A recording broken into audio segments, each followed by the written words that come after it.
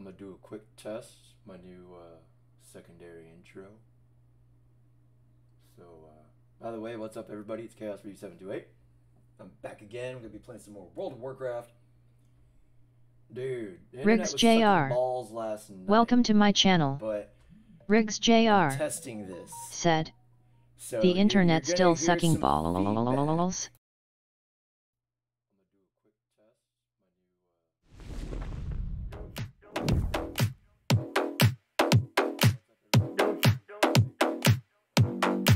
MR Hemi 4 SPD. Welcome to my channel. MR Hemi 4 SPD. Said. Chaos waving hand. The internet still no, sucking don't balls. touch me there. This is my no no square. No, no, don't touch me there. No, no, my no no square. No, no, don't touch me there. This is Stream no Elements. square. No, no, Welcome to don't my channel. there. No, no, Stream my no no Elements. square, square, Said. square, square. Stream Elements bot running robot face.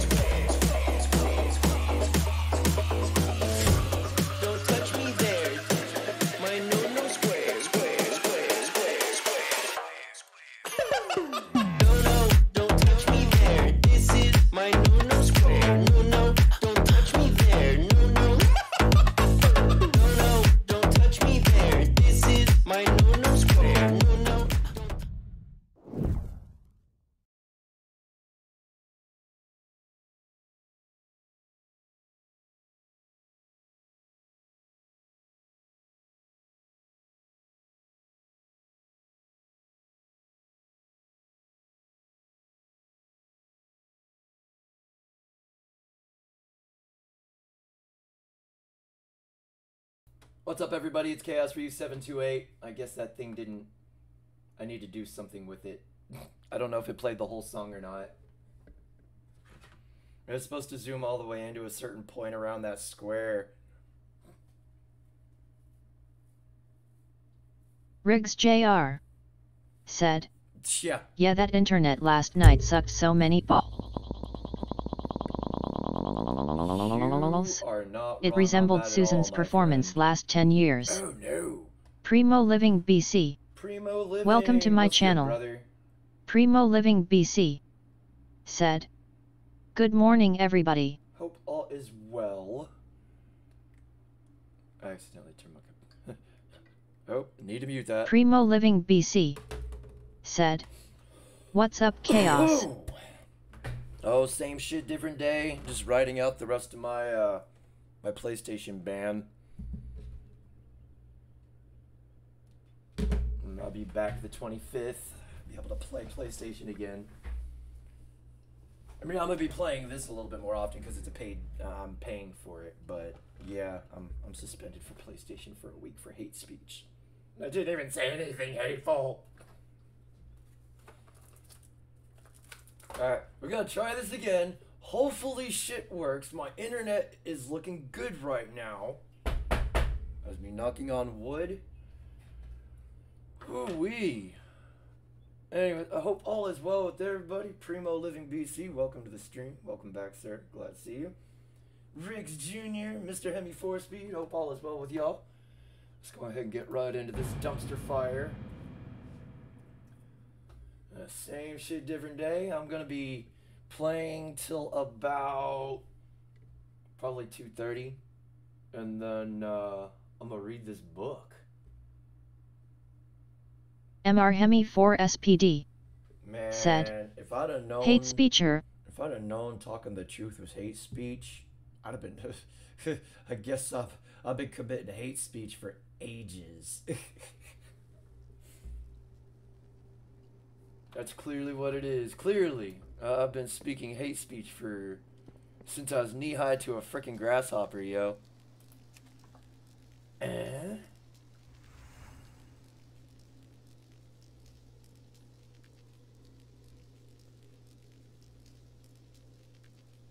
Against the scourge and any other threats that lie in the. What? Bingus. Welcome to my channel. Yeah, no, I'm a Bingus. Bingus. Said. What's good, brother? Thanks, Corey Slater. You fucking man girl. You think you know someone, then you compare them to a left wing retard, and they re all over your fucking PlayStation channel. Alright. We'll do this. Actually, it's letting me log all of them, so why the hell not? I'll just pop them all. Shit. Oh. Warriors of the Horde, get your axes and sharpen your spears. The Burning Legion has returned to our world. Um. I'm probably gonna regret this. Reinforce the strong. I don't even think I'm. I'm not even at these places yet. Oh my god.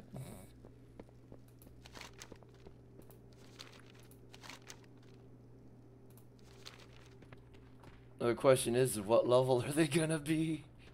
I'm gonna die. Oh man. Uh, What's up, Bingus? How are you doing, sir? Hope all is well. Hope everybody's having a great day. Managed to survive Tuesday. Or wait, Monday. See, I. You know Bingus. what? Said. Sorry, even- Chaos, hello. I, I I need I need to hit my bong real quick. That's what it is. Samantha P. Welcome to my channel. Samantha P. Sam P, Said. welcome to the stream. Afternoon. Victory hand medium light skin tone. oh fuck that Poles kebab. Welcome to my channel. Poles Kebab. Said. Chaos 07. What's up, Polska? How you doing, brother? Oh my god. Dude, that fucking last hit out that thing is fucking the worst. Oh.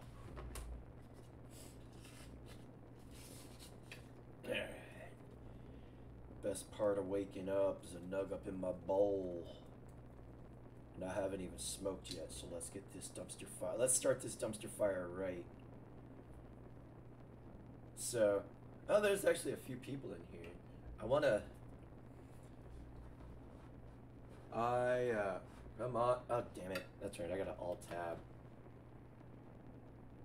Wouldn't y'all let me know? Think?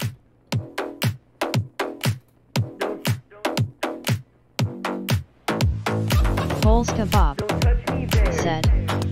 Chaos Bandmate just dropped a new song, it's awesome.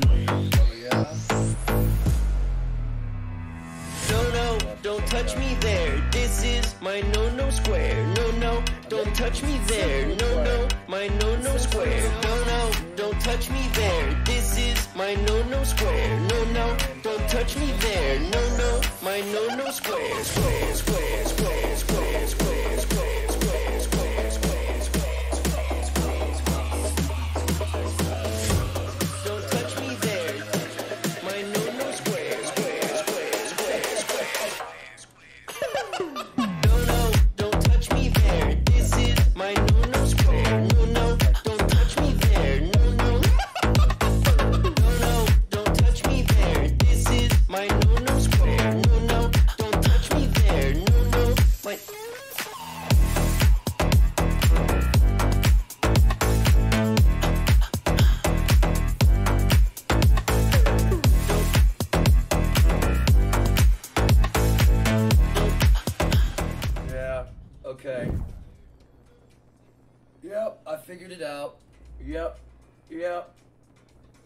Okay, I have to have it on loop.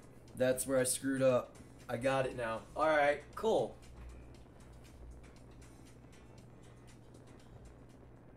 Okay, that's good to know. I need to have the video on loop in order for that to keep playing. But it's gonna keep playing.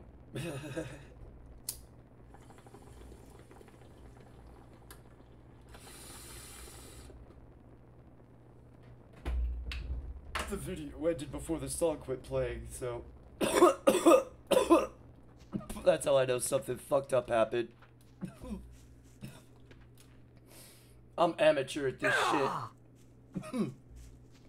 I work with a guy that expects me to be like professional with it. In fact, I think I told y'all about him a couple weeks ago, a few weeks ago. We had a sort of falling out. He uh was trying to micromanage me and and I'm not one to be micromanaged. And then uh he made the mistake of saying don't get cocky Riggs Jr. cocky. Said. Don't look up on copyrighted baby metal Polska won't leave haha. Duh. Nah, I need. I need all the subs I can get. By the way, I've started a new thing. Fuck eating the beans. I'm gonna do the one chip challenge. If I can get to a thousand before the end of the year, I'm uh, I'll eat two one chip challenge chips. Bacon brought up the question: if I can get nine thousand by the end of the year, would I eat a nacho tres? No, I'll eat a, I'll eat nine of those chips. There's what I need right there.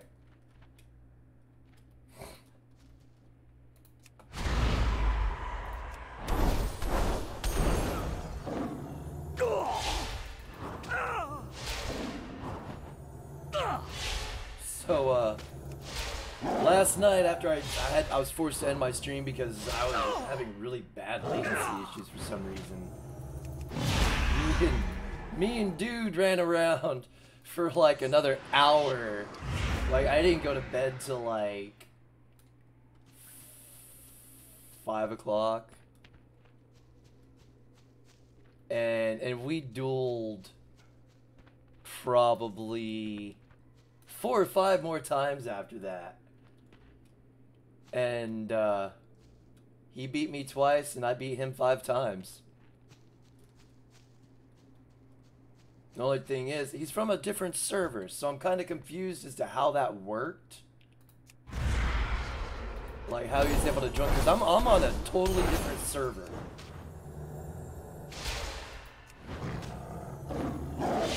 I mean, uh, it's cool that they allow people from other servers to come through. I think that's a really good feature. I don't have a target. This kind of puts you in a. I mean, we're in an instance with others, but yeah, that's a neat little feature that World of Warcraft has added. Now, if they could just get a good team in there instead of doing all hiring diversity clowns and equity fucktards, they could get back on track into making WoW the game it was supposed to be. As long as Polska Bob keeps hiring them diversity retards. Yellow fever equals copyright strikes JR.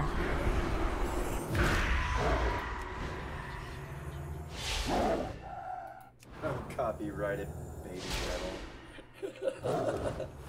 I don't know if that's the, if that exists, but uh, we'll definitely have to look into that. Hopefully tonight when I get on, get back on, it uh, it won't be. I won't be having issues too. Let's just keep our fingers crossed. So I guess eh, one or two chapters. There's there's some reading in it, man. Polska Bob. I think the first chapter Said, alone is like. You guys pages. Quantum Leap To fans? target something first. Oh yeah, they're they're they're uh, redoing Quantum Leap, but they're replacing the white dude with uh with a person of color. Uh, it's the same shit they've been doing, you know, taking a turd, polishing up and rebranding it, and then uh, passing it off as something hit and new, hip and new. Wow.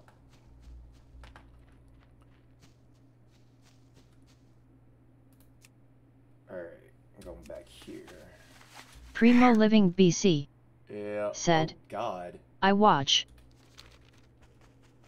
I'm not gonna watch it.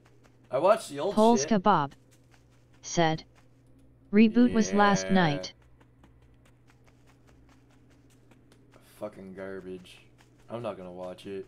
And like I said, it's gonna be the it is gonna be the same concept. It's just a different face. There's no point in watching it. And you know Primo they're Living gonna be throwing BC the diversity said, and I watch Mayans MC, that's it though. I don't even watch Mayans. Okay. Mayans wasn't bad. I liked the Mayans. I liked um, Sons of Anarchy. Those were good show series. Sons of Anarchy. Woo! That was uh ha ha ha. Polska Bob said, yeah. There's a non binary person, whatever thing, made it unwatchable. Jim would like to chat with you. Uh, this is Game Master Correct. I was going over your support ticket and saw you were online. You have a few minutes to talk with me. Sure. How can I help you?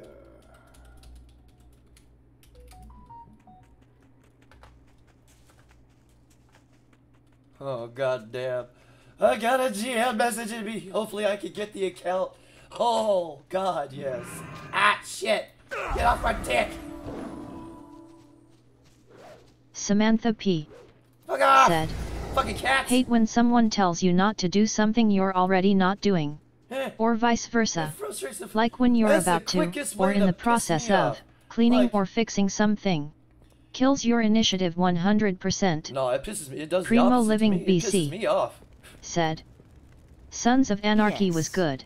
It's The Shield was my favorite show of all time.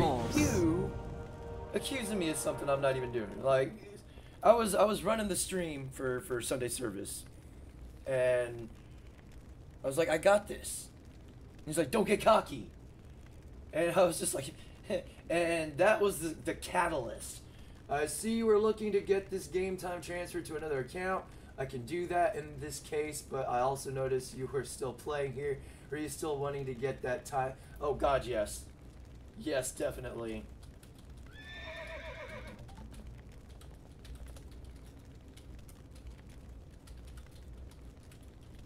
Yes. yes, definitely. I'm just killing time.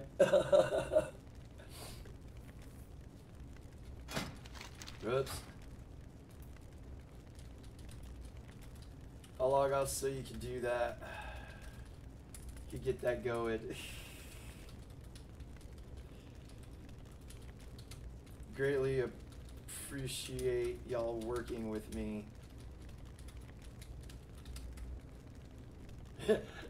I'll log off so you can get that going. I greatly, yeah. Oh my gosh.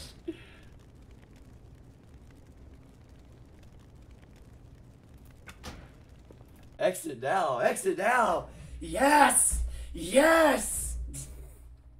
Sorry, I'm a little excited right now.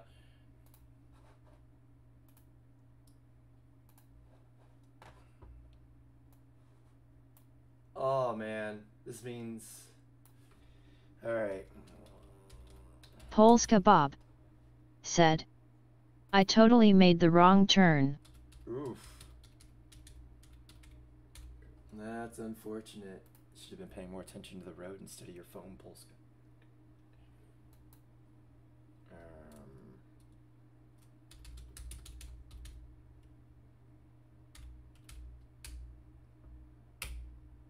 hmm.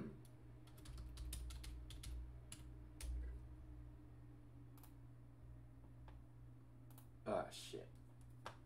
I seriously forgot the fucking password. I just changed it too. That's the worst part. I thought I changed it to what it was. But bear with me. I've got to do this verification bullshit. Yee. Okay. That's fine.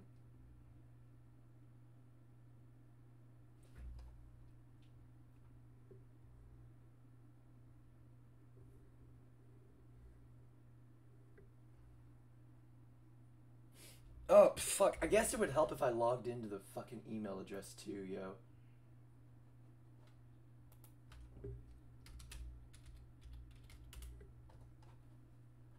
I'm having a slow moment. You'll have to forgive me.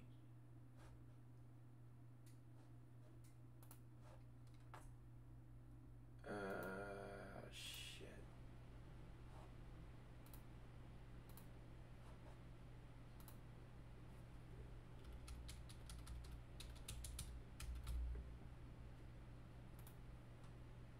Fun part's gonna be remembering the password.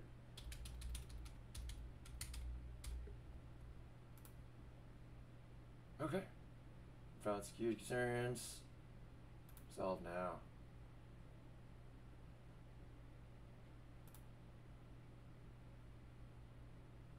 Yes. Ah, crap. You know, made me verify shit. Man, this lengthy process.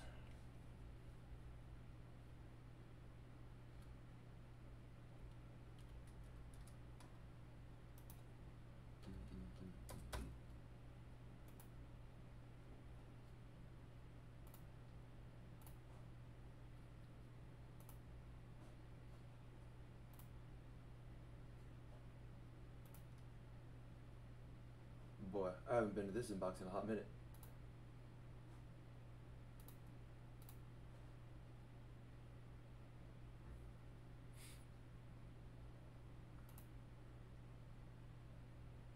Like, a really long time, apparently.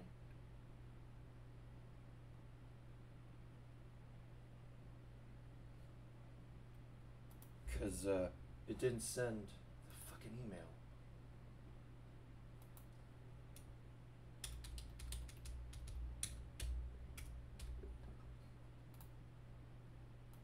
Was it? Oh, tell me it was that. Oh.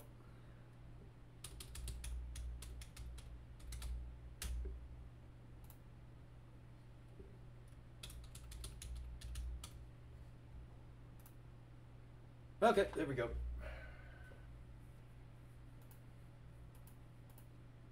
Secret question. Ugh.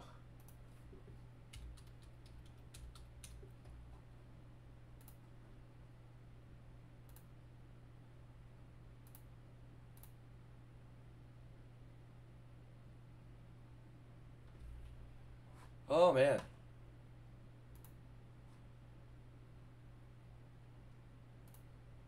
There go.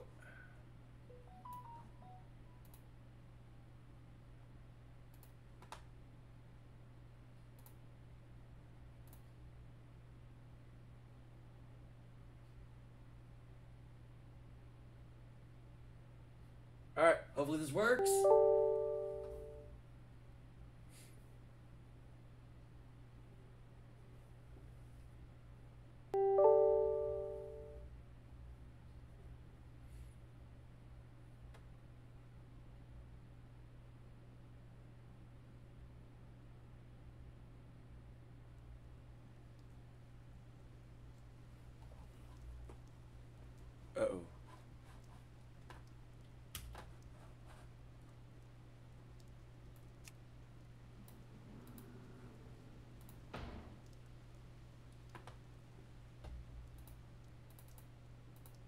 This isn't right.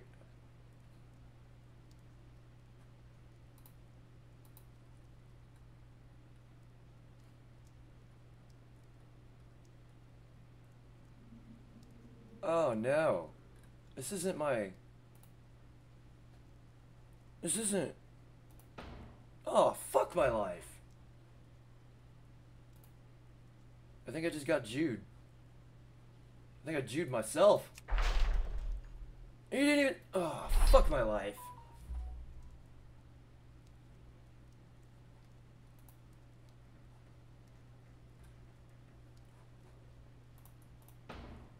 Yo, this has no max level characters on it.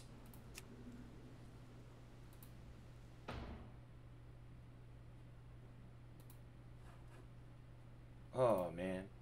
Don't tell me I just fucked myself.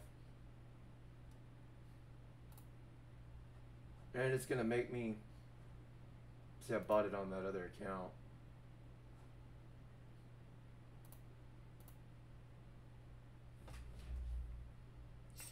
Huh? Well, that wasn't the account.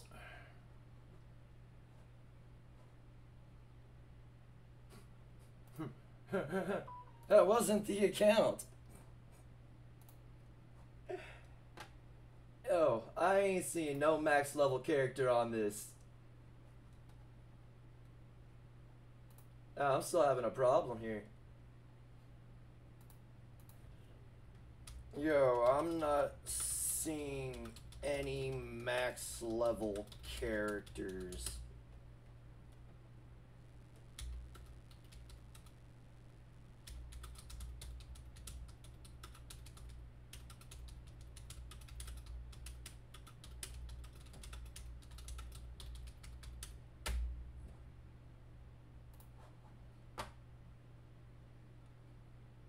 Well, this is great. If anyone thinks it's another.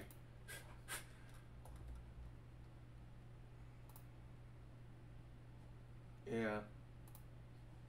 Yeah. Fuck. It didn't. This is frustrating now.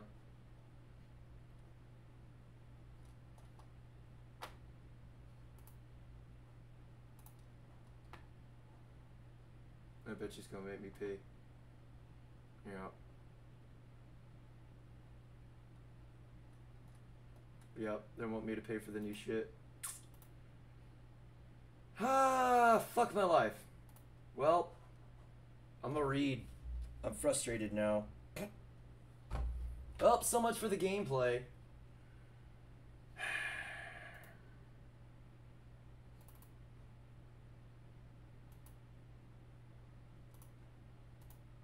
Oh, that's the wrong thing. Alright.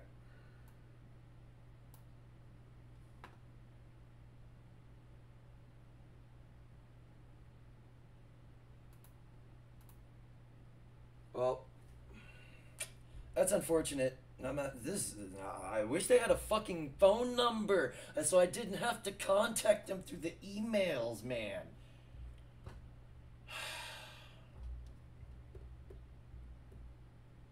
Where the fuck's my Kindle thing?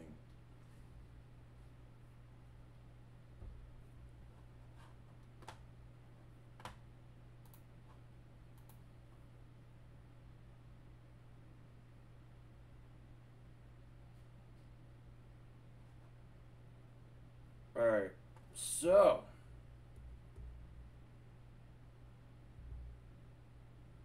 I'll be reading chapter one of Solving the Mystery of Babylon the Great. I, I wish I could bring this up on my computer, but it's through my phone because I have it downloaded on the Kindle Fire. But uh, hope you enjoy. Uh, this is a very his book goes over a lot of different topics, a lot of different topics that I've been going down since um, reading, rereading the Bible. Um, so the first chapter is the great wonder in heaven. Most people focus on the harlot Babylon the Great in the book of Revelation. Samantha P. But there's another woman in said, Revelations who holds the oh, key Oh wait I know QL. mystery I didn't see it but I saw a commercial promotion for it and I was PMSL. A hmm. time traveler that turns into different people and needs to change their life in order to return. And there appeared a great wonder in heaven, a woman clothed with the sun and the moon under her feet, and upon her head a crown of twelve stars. And she, being with child, cried, travailing in birth, and pain to be delivered. And there appeared another wonder in heaven, and behold, a great red dragon, having seven heads and ten horns, and seven crowns upon his head.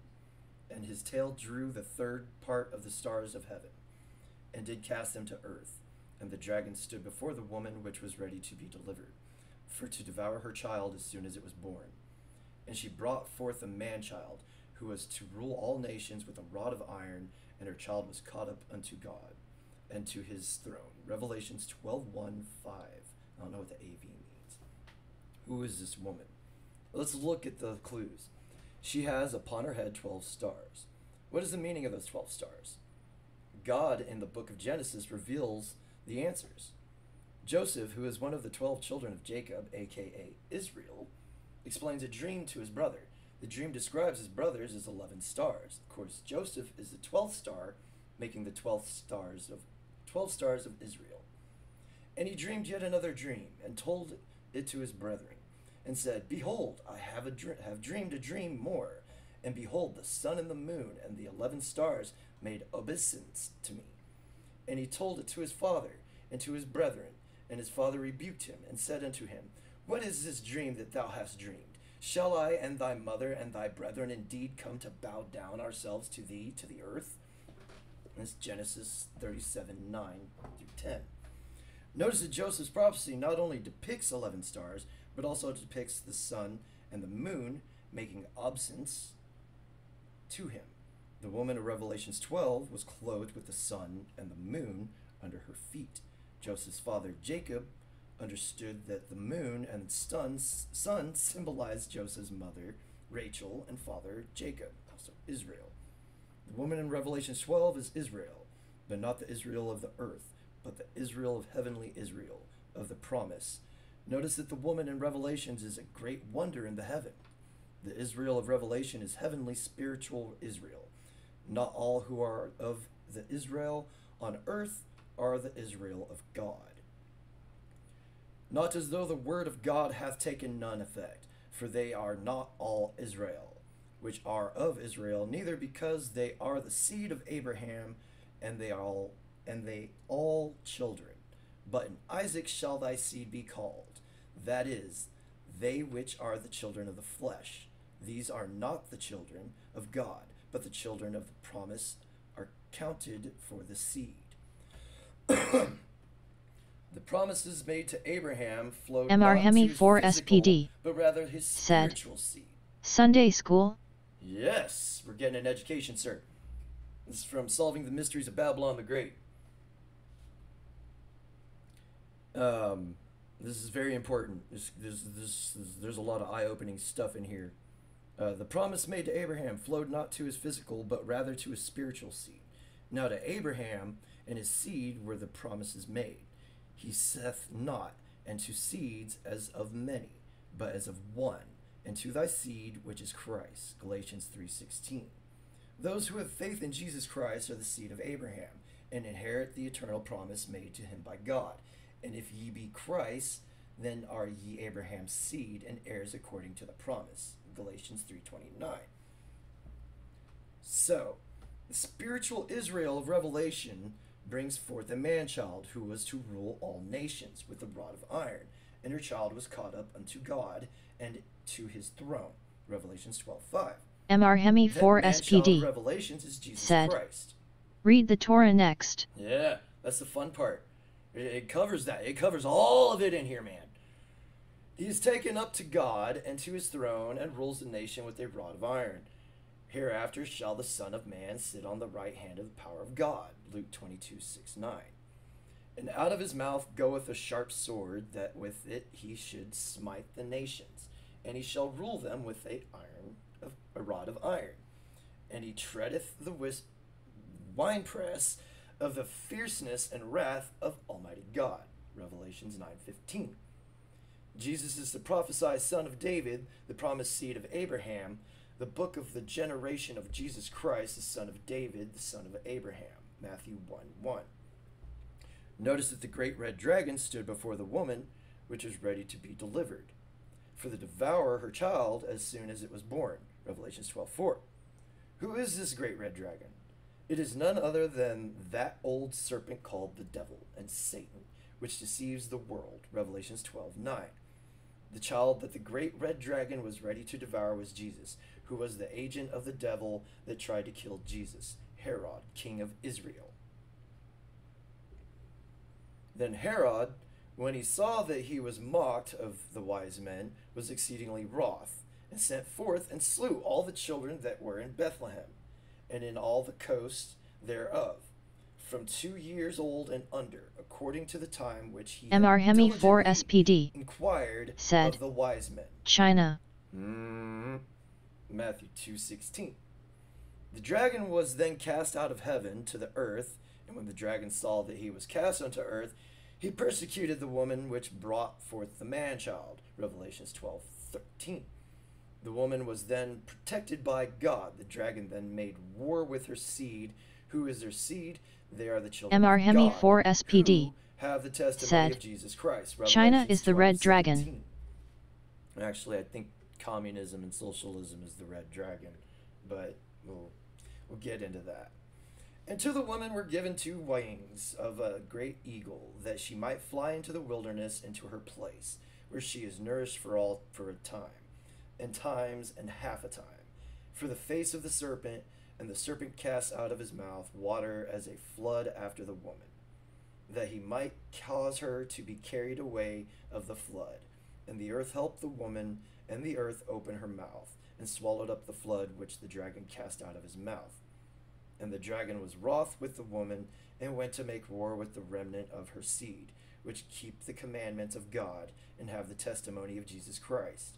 And I stood upon the sand of the sea, and saw a beast rise up of the sea, having seven heads and ten horns, and upon his horns ten crowns, and upon his heads the names of blasphemy, the name of blasphemy.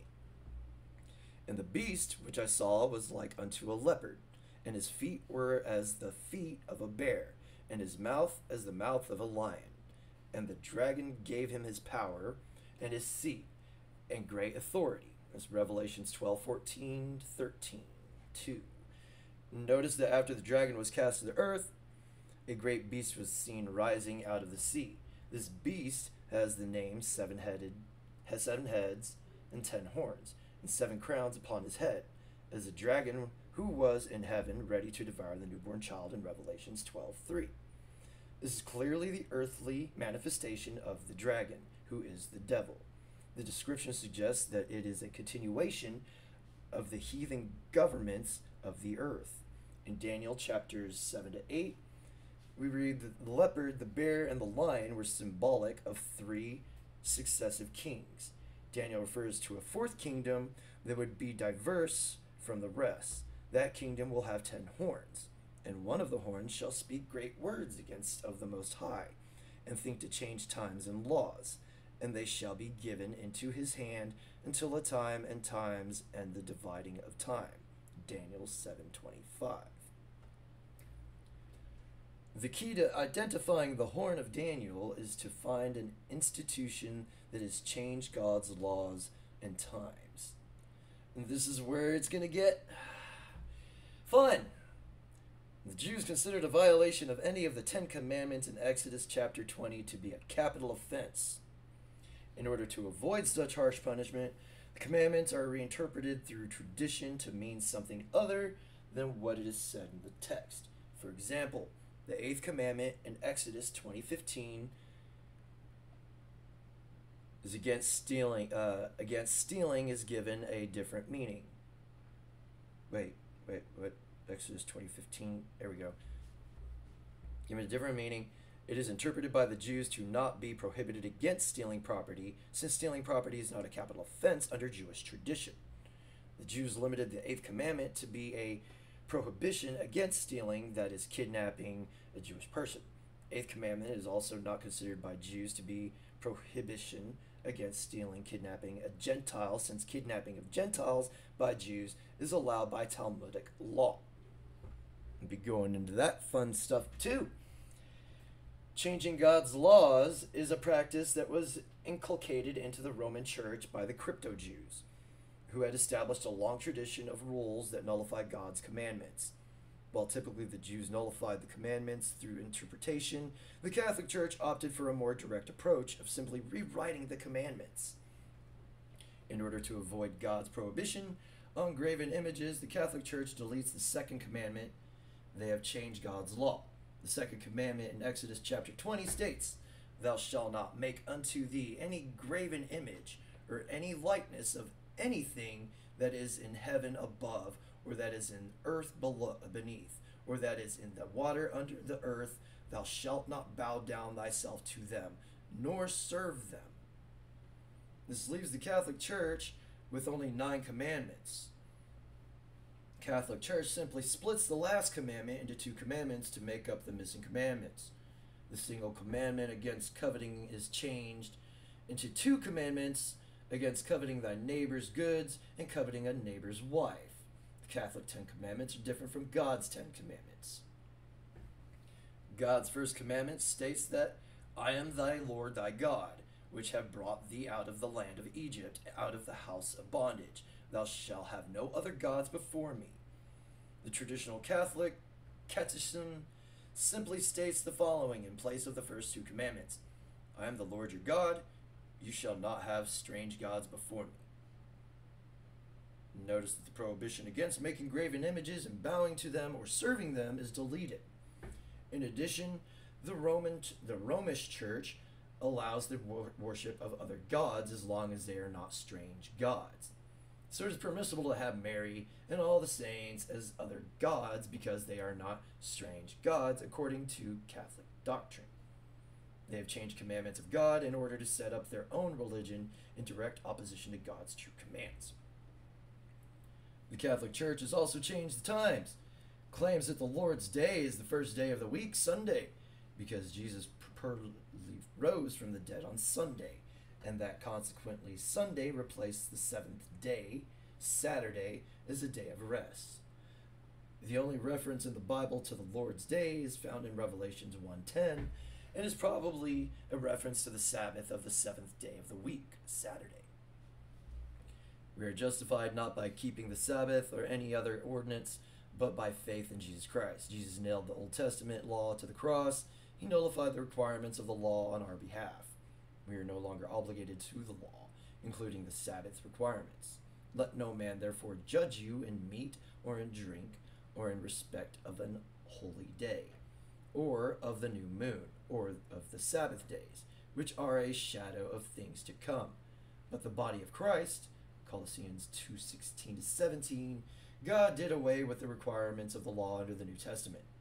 In that he saith, A new covenant he hath made the first old, now that which decayeth and waxeth old is ready to vanish away. Hebrews 8:13. We keep the new law out of love for God. Our obedience to his new law is evidence of our faith. A new commandment I give unto you, that ye love one another, as I have loved you, that ye also love one another. By this shall all men know that ye are my disciples, if ye have love one to another. That's John 13, 34 to 35. The Catholic Church, on the other hand, requires that on Sunday and other holy days of obligation, the faithful are to refrain from engaging in work or activities that hinder the worship owed to God. As a result of the Roman Catholic Church's twisting of the Holy Scripture, they have changed the Sabbath day or day of rest from the last day of the week, Saturday, to the first day of the week, Sunday. The Roman Catholic Church's changing of the day of rest from the seventh day to the first day of the week, along with their deletion of the second commandment, is a fulfillment of the prophecy in Daniel that the horn would think to change times and laws. Jesus was crucified on Passover, which was the fourth day of the week, Wednesday. Matthew 26 2. It's in John 13 1, 18 28, and 39. Jesus was crucified on the day of Passover, Luke 22 23, Matthew 26 2. That is why the day Jesus Christ crucified is referred to as the preparation of the Passover, and not the preparation for the Passover. The Passover was the preparation day for the unleavened, un, unleavened bread Sabbath Bingus allows follows said, the Passover. Always John follows. 3:16 is a different one too. Yeah, it is. And it was the preparation of the Passover, and about the sixth hour, and he saith unto the Jews, Behold your king. John nineteen fourteen. The day Jesus was crucified was a preparation day before the Sabbath, Mark fifteen forty two, which is why many believe it was the sixth day of the week, Friday. What many do not realize is that there were many other Sabbaths throughout the year in addition to the weekly Sabbath. That would mean that there would be many occasions when there would be two Sabbath days during some weeks. The week of Jesus' crucifixion was on one of those weeks with two Sabbaths. How does he know? There were two Sabbaths because the Bible states that Christ was crucified the day before the high Sabbath and not the day before the weekly Sabbath. The Jews, therefore, because it was the preparation that the body should not remain upon the cross on the Sabbath day, for that day, for that Sabbath day was an high day, besought Pilate that their legs might be broken and that they might be taken away. That's John nineteen thirty one. The next day after Jesus' crucifixion was the high Sabbath. It was the first day of the seventh day of the, of the seven day feast of unleavened bread, and the fifth day of the week, Thursday, John nineteen thirty one. The fourteenth day of the first month is the Passover, Leviticus twenty three four to five, Exodus twelve seventeen to eighteen. I'm only citing these because that's that's your references. Passover is immediately followed by the seventh day of the unleavened bread, Leviticus 23 6 7, Exodus 12 15 16. The Sabbath day is a day of rest. God ordained that the 15th day of the first month, the day after Passover, was to be a day of rest. That is a Sabbath day. Leviticus 23 6 7. The next day, the sixth day of the week, Friday, the women brought the spices. Mark 16 1 and prepared the spices for Jesus' body. Luke 23 5 56. The women prepared the spices and ointments before the Sabbath. Luke 23 53 24 3. But they did not buy the spices until after the Sabbath. Mark 16 1 6. How can one prepare the spices before they are purchased? It would not be possible unless there were two Sabbaths. The women prepared the spices before the weekly Sabbath, but had purchased them after the unleavened bread Sabbath. Those passages point to a Wednesday crucifixion, with the unleavened bread Sabbath the next day, Thursday, and Christ rising from the dead exactly three days and three nights, 72 hours later, on the weekly Sabbath, Saturday. The women would have both purchased the spices and prepared them on Friday, which would have been made before the weekly Sabbath on Saturday and after unleavened bread Sabbath, which was on Thursday. The tomb was found empty on the first day of the week. He did not rise from the dead on that day. And it's going to go into the reading scripture again. The women rested on the seventh day, Saturday, which was the weekly Sabbath. Luke 23 56. Early the first day of the week, Sunday, they came to the tomb to find it empty and saw an angel who announced that Jesus had already risen. Mark 16 1 6. Just as Jesus prophesied, he rose from the dead precisely three days and three nights after his burial. Matthew 20, Matthew 12 40 2019. While the tomb was found empty on the first day of the week, Sunday, he rose from the dead on the evening of the seventh day. To hold that Jesus was crucified and was buried on the sixth day of the week, Friday, and rose from the dead on the first day of the week, Sunday, would be to say Jesus was wrong about his prophecy because he prophesied that he would be in a tomb three days and three nights. For as Jonas was three days and three nights in the whale's belly, so was the Son of Man by three days and three nights in the herd of the earth. Matthew twelve forty. The span between the evening of Friday and the early morning of Sunday is not three days and three nights. However, a Wednesday burial with a Saturday resurrection is exactly three days and three nights. And that was the end of chapter one. I'm gonna go ahead since I got time. We're gonna go ahead and read into chapter two real quick, and then uh, I'm gonna try and jump onto another game. Since uh, I think I was played. So, chapter two, the other woman, the horn of Daniel, which is symbolic of the Pope of Rome. Change the times and the laws of God. The beast of Daniel has the same ten horns at the beast in Revelations. We see the sea beast again in Revelation 17:3. And this time there is something riding the beast. It is the same beast with seven heads and ten horns as the dragon who was in heaven ready to devour the newborn child in Revelations 12:3. And the beast arose from the sea in Revelations 13:1. The beast could not destroy Christ or his church, so he tried to create his own devilish Christ, the Antichrist and his own counterfeit church. The church of Jesus is a chaste bride. 2 Corinthians 11:2. The devil's church is an imperious harlot who is riding the beast. So he carried me away in the spirit into the wilderness, and I saw a woman sit upon a scarlet colored beast, full of names of blasphemy, having seven heads and ten horns. And the woman was arrayed in purple and scarlet colors, and decked with gold and precious stones and pearls, having a golden cup in her hand, full of abominations and filthiness of her fornication. And upon her forehead was a name written Mystery. MR Hemi 4 SPD. Great, Mother of said, harlots and "Cool story, bro." Of the earth. Oh, this isn't a story, sir. This ties shit together. a lot of shit. this is a 374 page book, sir. And I saw the woman drunken with their blood of the saints and with the blood of the martyrs of Jesus. And when I saw her, I wondered with great admiration. Revelation 17 3 6. Recall that the dragon made war against the seed of Christ, the children of the first woman. The devil decided to establish a church and use the church to war against the children of God. This is a spiritual war, but as then he that was born after the flesh persecuted him that was born after the spirit, even so it is so. Now, Galatians 4:29. The children of the flesh and the devil's church are cannon fodder in a spiritual war against the children of the spirit and the church, true church of Christ. The Roman church considers Mary the mother of the church. Is the Catholic Mary the Mary in the Bible? There is a mother mentioned in Revelations. She is the harlot with a name upon her forehead, Mystery Babylon the Great, mother of harlots and abominations of the earth. Revelation 17:5. Can we know who is the mystery harlot? God reveals her identity by explaining that the beast that she rides has seven heads, and the seven heads are seven mountains, of which the woman sitteth. Revelation 17:9. Another clue is that the woman is a city, and the woman which thou sawest is the great city, which reigneth over the kings of the earth. Revelation 17:8.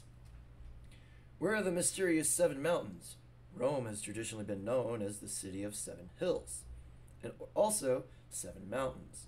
A mountain is simply a large mass of earth that rises above the common or adjacent land. It does not have to be Bingus said, You find these secrets on High Hrothgar. Mm. Mountain accurately describes a large hill. There's only one city that can meet the description of a city on seven mountains Rome. Rome is famous for the seven mountains upon which it sits. The mountains are the Cap- Capitoline, the Quar. Wow, I can't pronounce these words. Quirinal, the Viminal, the Esquiline, the Callion, the Avenue, and the Palatine. Alexander Hislop points out in his book, The Two Babylons, that even pagan poets and orators would have no, uh, would have no thought of elucidating biblical prophecy described Rome as the city of seven hills. Hislop quotes Virgil, who described Rome thusly Rome has both become the most beautiful city in the world and alone has surrounded for herself seven heights with a wall. Virgil, who died approximately 19 years before Christ, was born and therefore several generations before the book of Revelations was written. Hislop also quotes poet Sextus Aurelius Propertus, who describes Rome as the lofty city on seven hills, which governs the entire world. Oh man! All right, I need a second. I gotta hit my bong. this is gonna start going into how the Vatican and the Roman Catholic Church are the uh, the harlot and the beast system, basically, and and further go over it if I recall.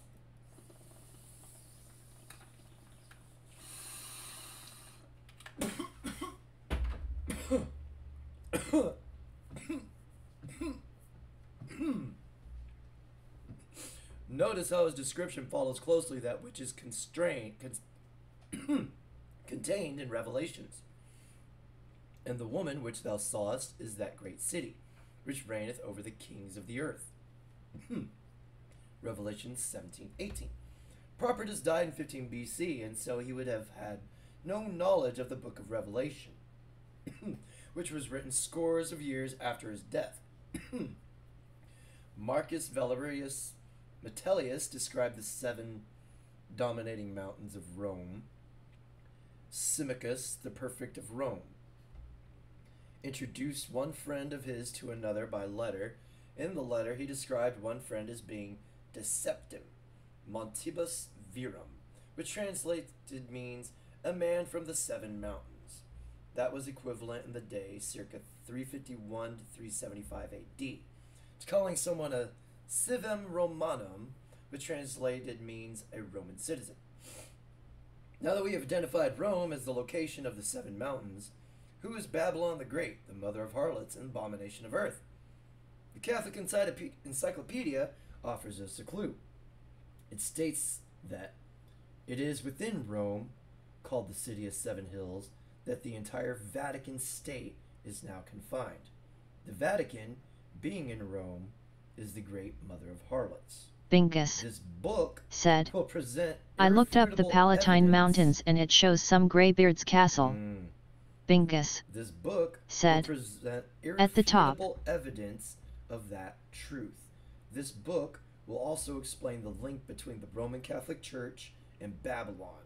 First, we must find out how the mother of harlots got the title Babylon the Great. Our first clue is found in the Bible.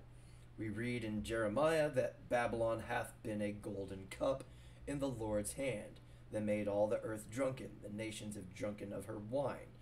Therefore the nations are mad. Jeremiah 51 7. Notice that language is very similar to what God states in Revelations regarding Babylon the Great. She's described in Revelations as the great whore, with whom the kings of the earth have committed fornication, and the inhabitants of the earth have been made drunk with the wine of her fornication. Revelations 12 17 2. God further describes her in the book of Revelations.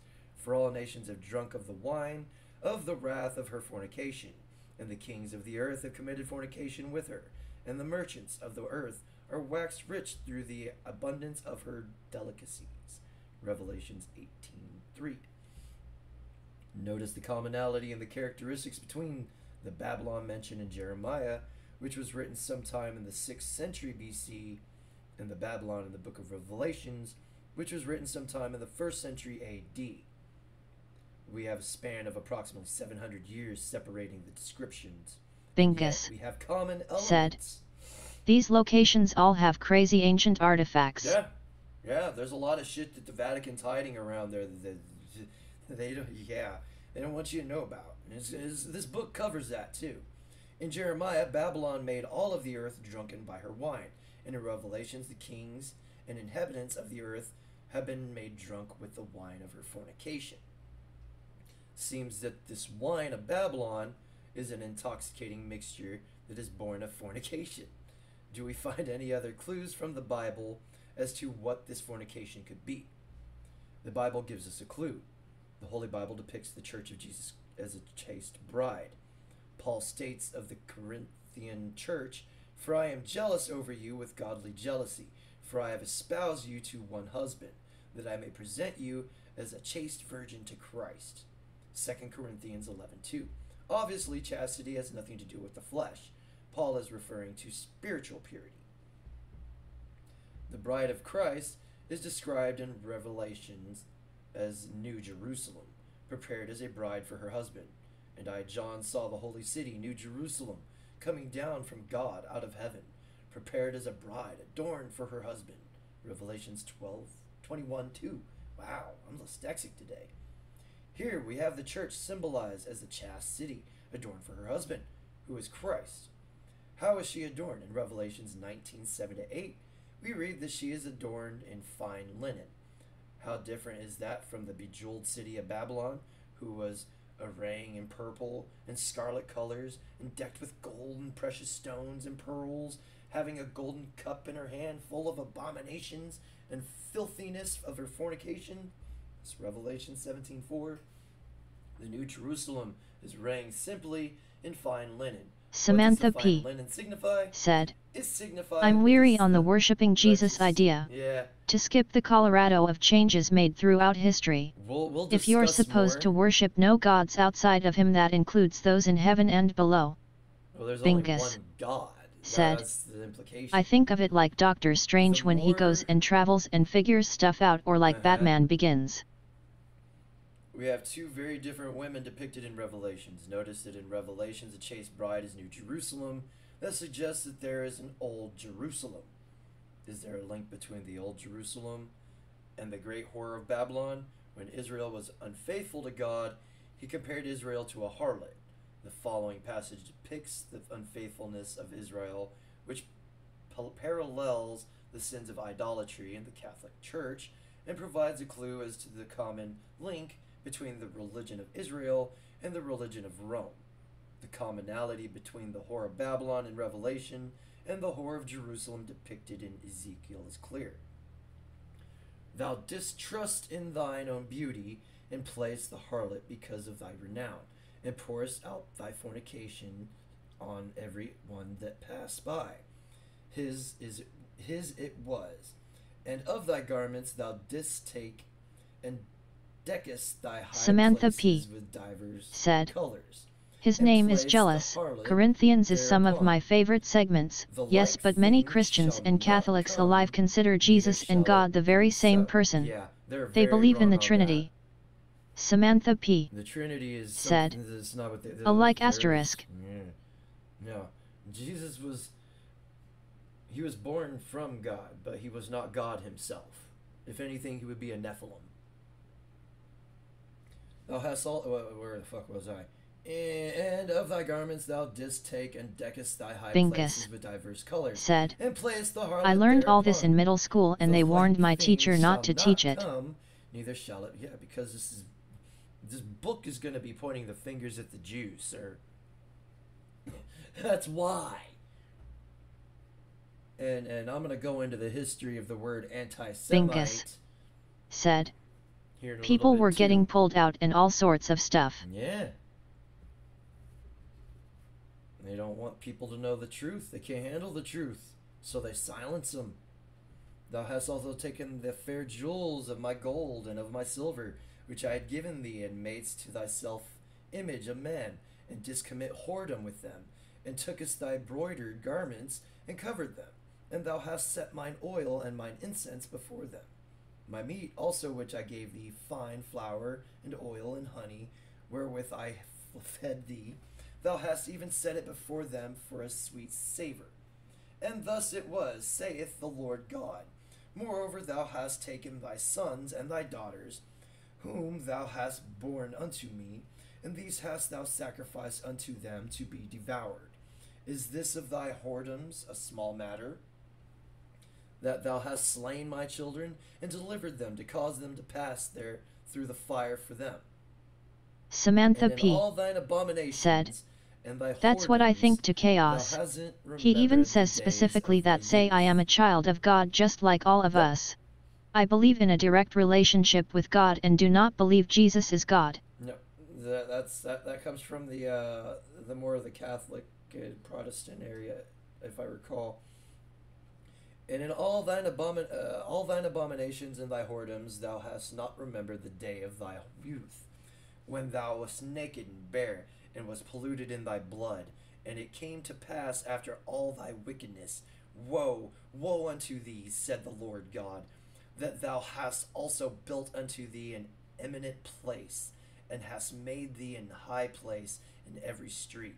Thou hast built thy high place at every head of the way, and hast made thy beauty to be abhorred, and hast opened thy feet to every one that passed by, the, and multiplied thy whoredoms. Thou hast also committed fornication with the Egyptians, thy neighbors, great of flesh, and hast increased thy whoredoms to provoke me to anger. Behold, therefore I have stretched out my hand over thee, and have diminished thine ordinary food, and delivered thee into the will of them at, that hate thee, the daughters of the Philistines, which are ashamed of thy lewd way. Thou hast played the whore also with the Assyrians, because thou wast unsta- unsatiable. Yea, thou hast played the harlot with them, and yet couldst not be satisfied. Thou hast moreover multiplied thy fornication in the land of Canaan unto Chaldea, and yet thou wast not satisfied herewith. How weak is thine heart, saith the Lord God, seeing thou dost all these things, the work of an imperious whorish woman, and that thou buildest thine eminent place in the head of the every way, and maketh thine high place in every street, and hast not been as an harlot, in that thou scornest hire, but as a wife with com- committed adultery, which taketh strangers instead of her husband. They give gifts to all whores, but thou givest thy gift to all thy lovers, and hearest them, that they may come unto thee on every side for thy whoredom, and the contrary is in thee from other women is in thy whoredoms, whereas none followeth thee to commit whoredoms, and in that they give us a reward, and no reward is given unto thee. Therefore thou art contrary. Wherefore, O harlot, hear the word of the Lord. Thus saith the Lord God, because thy filthiness was poured out, and thy nakedness discovered through thy whoredoms with thy lovers, and with all the idols of thy abominations, and by the blood of thy children, which thou didst give unto them. Behold, therefore, I will gather all thy lovers, with whom thou hast taken pleasure, and all of them that thou hast loved, with all of them that thou hast hated.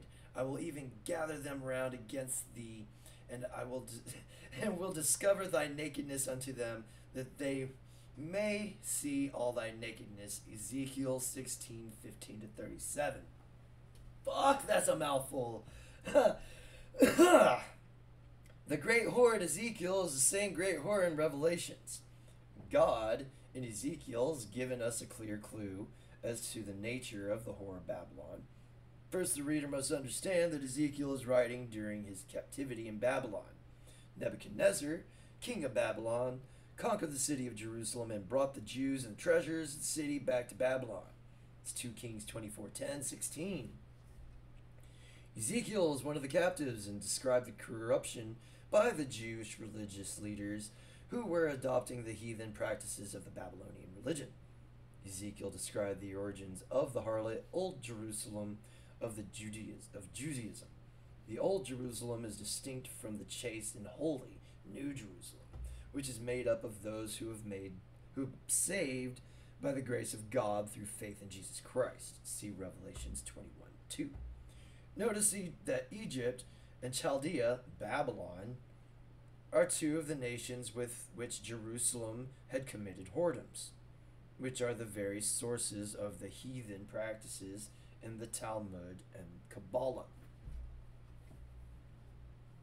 Samantha P. said. Almost positive all Christians do. So Mormons, Baptist, Pentecostal, Lutheran, Jehovah Witness, Protestant, all of them believe in the Trinity and that faith alone washes away sins. I have actually heard that. MR Hemi 4 SPD said. America is the whore of Babylon. And that's actually what um what the uh, the New World Order by A. Ralph Epperson says. He claims America is is akin to the Antichrist, the, the false hope. um, Jeremiah prophet, where was I? Explains that the whoredom of Jerusalem was following after the heathen religions by making images of men and worshiping those images. Excuse me. That is the same thing being done today in the Catholic Church. The Jews were also sacrificing their children to their heathen idols. The great horror of Revelations is similarly drunken with the Samantha blood of the P. saints and with said, the blood of the martyrs. of Believing in consequences and direct relationship with God is actually closer to Judaism than any Christian SECS. R. Spiegel. It's gonna cover some Welcome to my in channel. There's actually a chapter R. in Spiegel here called "Communism said, is Judaism." What's up, sir? How you doing, buddy? Uh, having gaming issues, so I'm doing a little bit of light reading on a very heavy book. How are you doing, sir? There's a little bit of religious education in here too, if you want to stick around for it.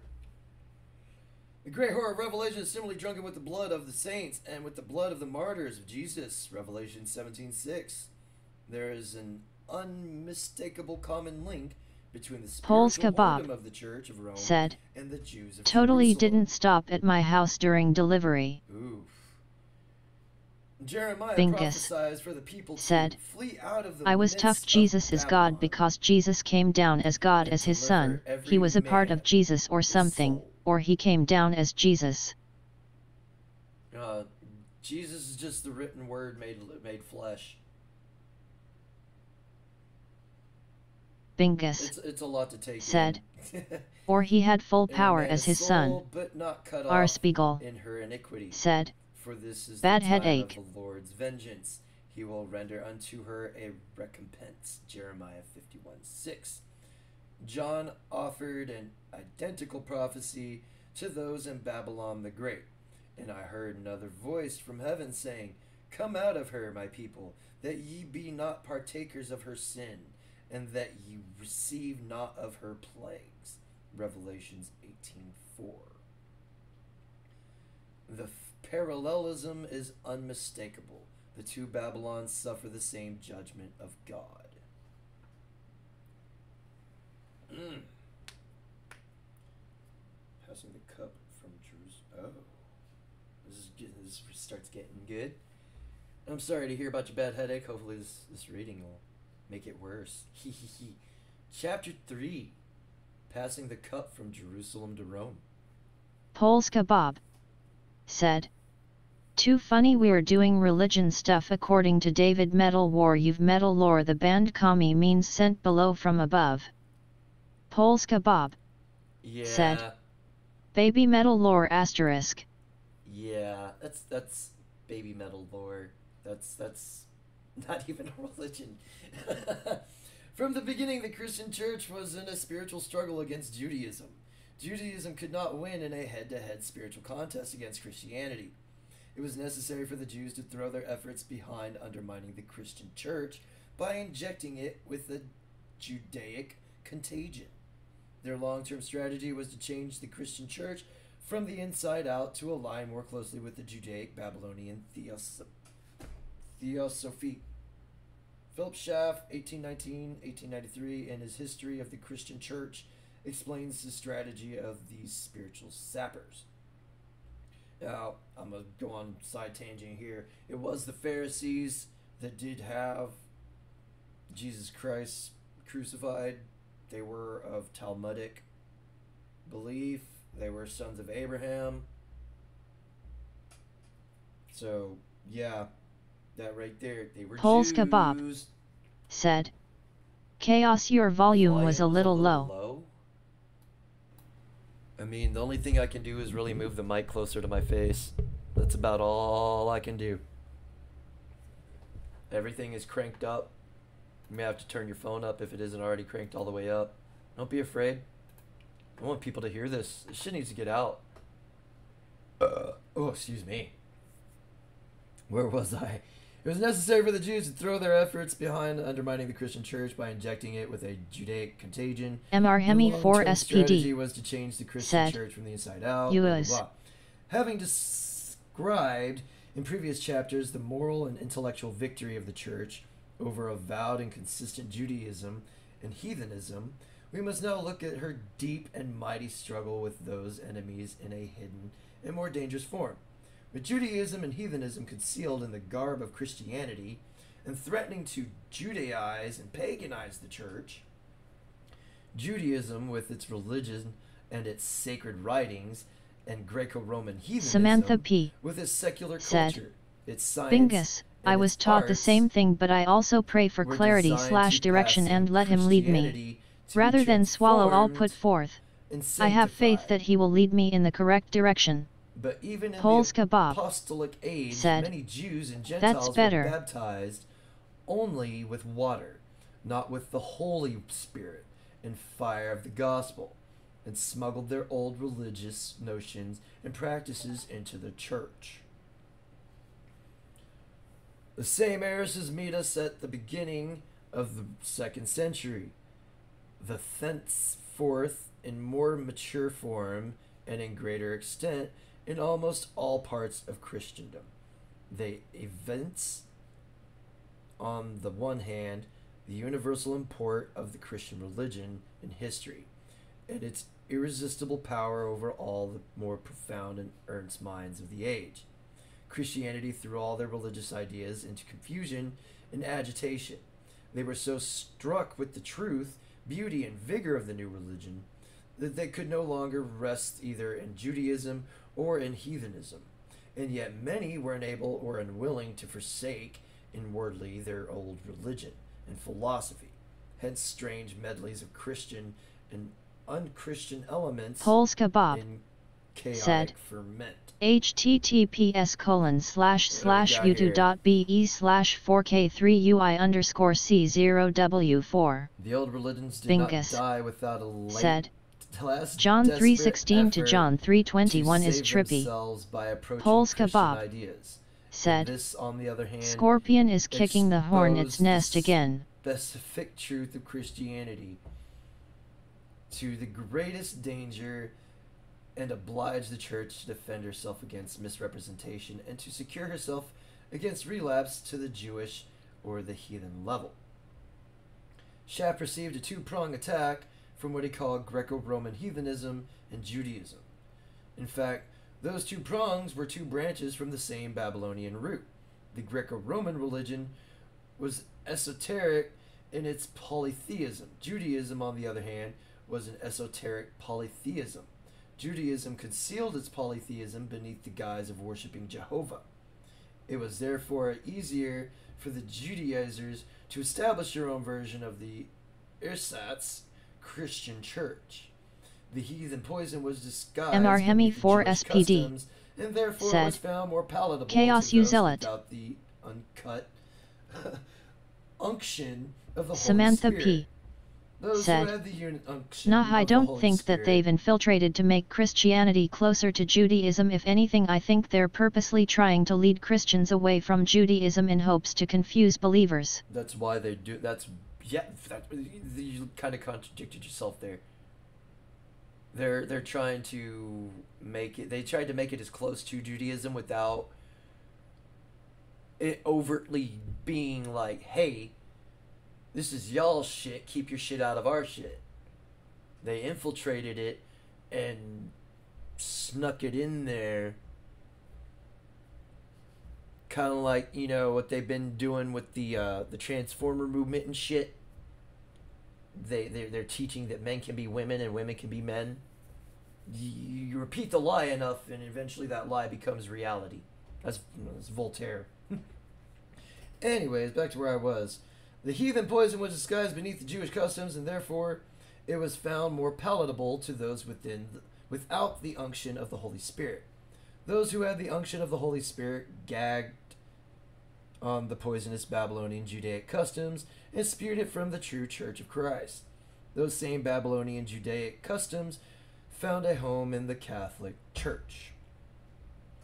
Ezekiel was taken by the Lord and shown how the Jews had turned from him and worship idols and heathen gods. Ezekiel 8 1 through 17. The Jews thought that the heathen worship was hidden from God. Then said he unto me, Son of man, hast thou seen what the ancients of the house of Israel do in the dark? Every man in the chambers of his imagery. For they say, The Lord seeth us not. The Lord hath forsaken the earth. Ezekiel 8:12. It was not the common Jews who were engaging in the secret worship of heathen gods. It was the 70 of the ancients of the house of Israel, all the elders. Ezekiel 11. Who were the 70 ancients? They were the members of the Jewish Sanhedrin. There were Samantha 70 P. members of the said, Sanhedrin. Yes, but what you're explaining is that they're trying to make it closer to Judaism, and what I'm saying Uh-huh. is I think they are trying to make it further from Judaism. I think they're just trying to steer people away from Christianity altogether. They didn't. They made it similar, not not f- making it more like. They just added in little Judaic things that people wouldn't notice. That's that's what that meant. They were trying to make it more like it, so but enough to where nobody would notice. The common Jews were kept in the dark about the secret heathen worship. They were exposed to the oral Polska traditions Bob of the Jews, said, which they ignorant follow. KFC for a lunch. Yeah, that sounds great. Not really. Go to Golden Chick. Not realizing that they nullify God's laws, Jesus revealed this in Mark. And he said unto them, Full well ye reject the commandments of God, that ye may keep your own tradition. Mark 7 9. The oral Jewish tradition has esoteric meanings that were hidden from the uninitiated common Jews.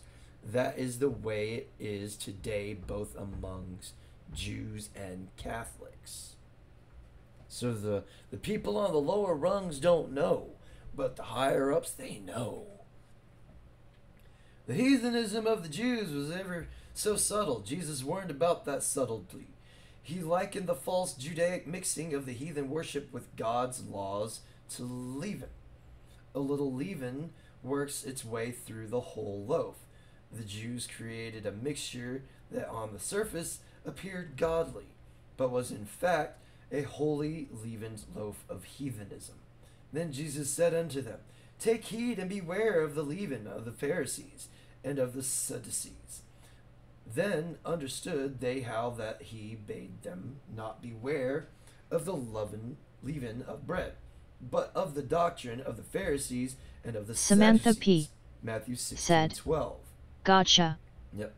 Paul also warned about the Judaizers that were trying to interje- inject their Judaic doctrine into the church. He warned, "A little leaven leaveneth the whole lump." Galatians five nine. The subtlety of the Judaizers even deceived Peter in Galatians two eleven to thirteen. We read how Paul had to upbraid Peter for being deceived to follow after the subtle dissolution dissimulatory customs of the Jews. Peter caused Barnabas to fall into the same Judaizing error. The same Barnabas, Bar, Barnabas, wow, however, was quick to recognize the clear heathenism when the Laotians sought to worship Paul and him as God in Acts 14 11 through 15. Both Barnabas and Paul rent their clothes and ran among the people, telling them to stop their heathen worship. The esoteric heathen worship of the Laotians was obvious to Barnabas, but the esoteric, wait, exoteric, wow, okay, but the esoteric heathenism of the Jews was so subtle that Barnabas was taken in by it. See Galatians 2.13. The Judaizing strategy resulted ultimately in the establishment of the Catholic Church. There is historical evidence for the common Babylonian lineage between Judaism and Roman Catholicism. After the fall of Jerusalem, Kabbalistic Jews migrated to Alexandria, where they synthesized their Chaldean witchcraft with Neoplatonic philosophy and cloaked the religion in Christian terminology. They then tried to introduce this new heathen Gnostic philosophy into the fledgling Christian church. The penetration of the true spiritual church of Christ was futile. What this Jewish Gnosticism did accomplish was the creation of a new ersatz Christian church, which grew into what we now we know today as the Roman Catholic Church. Those facts have been concealed from the historical accounts of the Catholic Church. The Vatican knows, but they ain't gonna tell nobody. Maurice Pinay in the book The Plot Against the Church Bingus. explains the spiritual Said, fight waged by If there is an everlasting life that's real, I'm down. Find out when we die. Circa 130 202 against the Gnostic heresy that was being injected into the church. Maurice Pinay is alleged to be a pseudonym for a group of Catholic priests. According to Pinay, one of the lead purveyors of the Gnostic heresy was Valentinus. Valentinus was a crypto Jew who tried to keep his Jewish roots secret when he migrated from Alexandria to Rome. He migrated with the MR Hemi 4 SPD as a Christian Said, in order to Dry as toast chaos. church. Dry as toast. Uh-huh. There's important stuff in here, man. You say it's dry, but it gets it, it gets juicier as the chapters go on. He migrated with the intention of portraying himself as a Christian in order to undermine the Christian church at Rome with his Gnostic doctrines. Valentinus gained great influence in Rome and was even a candidate for bishop of Rome in 143 AD. Irenaeus discovered the Jewish roots of Valentinus and found out what Valentinus was up to. Irenaeus exposed Valentinus' anti Christian heresy. Valentinus was a disciple of Thaddeus, who in turn claimed to have been a disciple of the Apostle Paul. Thaddeus taught as a secret knowledge Gnosticism that he falsely claimed was taught to him by Paul. The only reference to Thaddeus in the Bible is a reference to him from the Pharisees Gamaliel.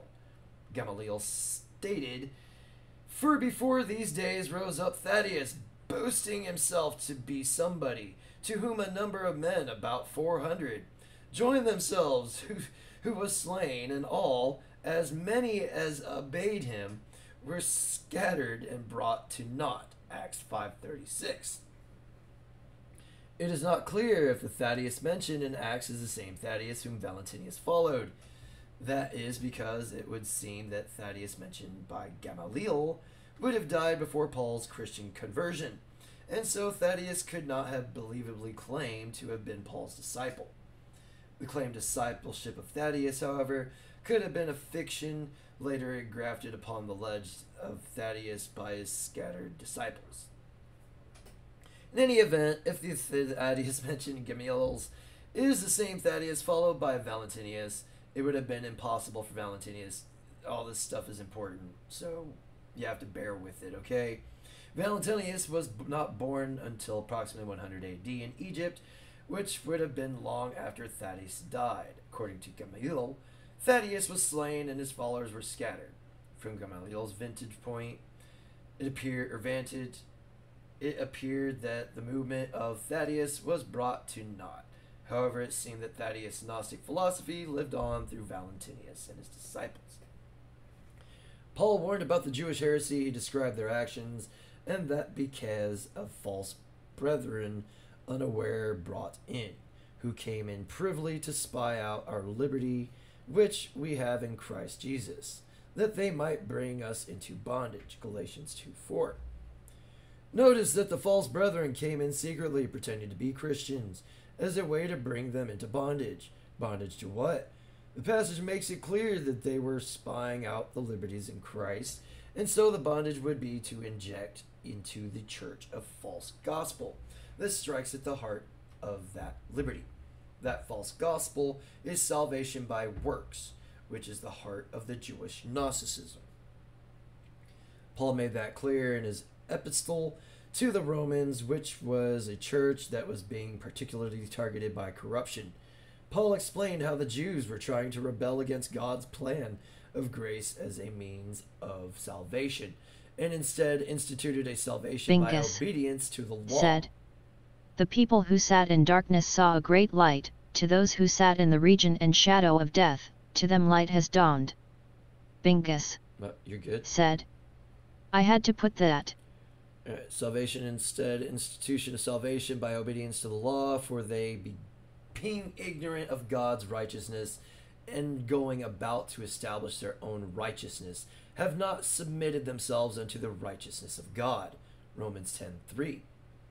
Paul warned about those who were bent on pre- preventing Primo Living Christ's BC gospel of grace. said, You should do Bible reading live streams.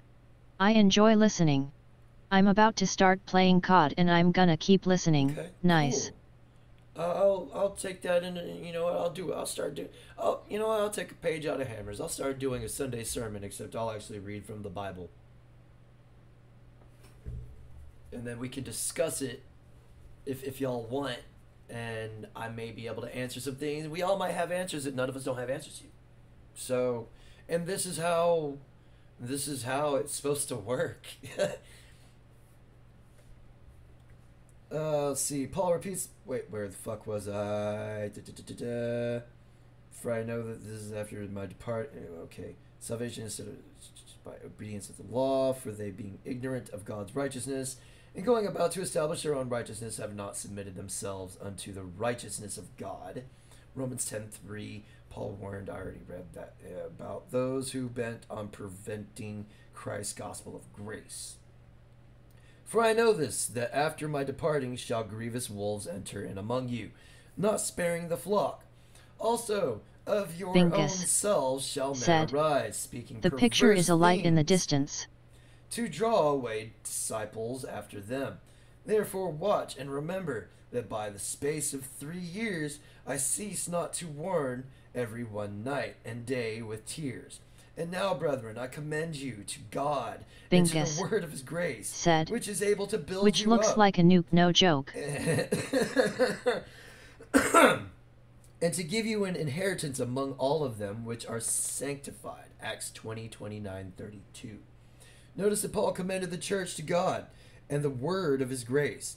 It is the word of grace that the Judaizers would try to corrupt. The corrupt gospel of salvation by works, which was eventually given life in the Roman church. It clearly states the only way into heaven is through Jesus Christ. Paul repeats the point more directly in his letter to the Galatians. The Jewish Gnostics argued that obedience to the law was necessary for salvation. Paul, on the other hand, states emphatically that works of the law will not justify a person. He's correct in that thinking. Knowing that a man is not justified by the works of the law, but by the faith of Jesus Christ, even we have to believed in Jesus Christ, that we might be justified by the faith of Christ, and not by the works of the law. For by the works of the law shall no flesh be justified. Galatians 2:16. Justification is by God's grace through faith alone.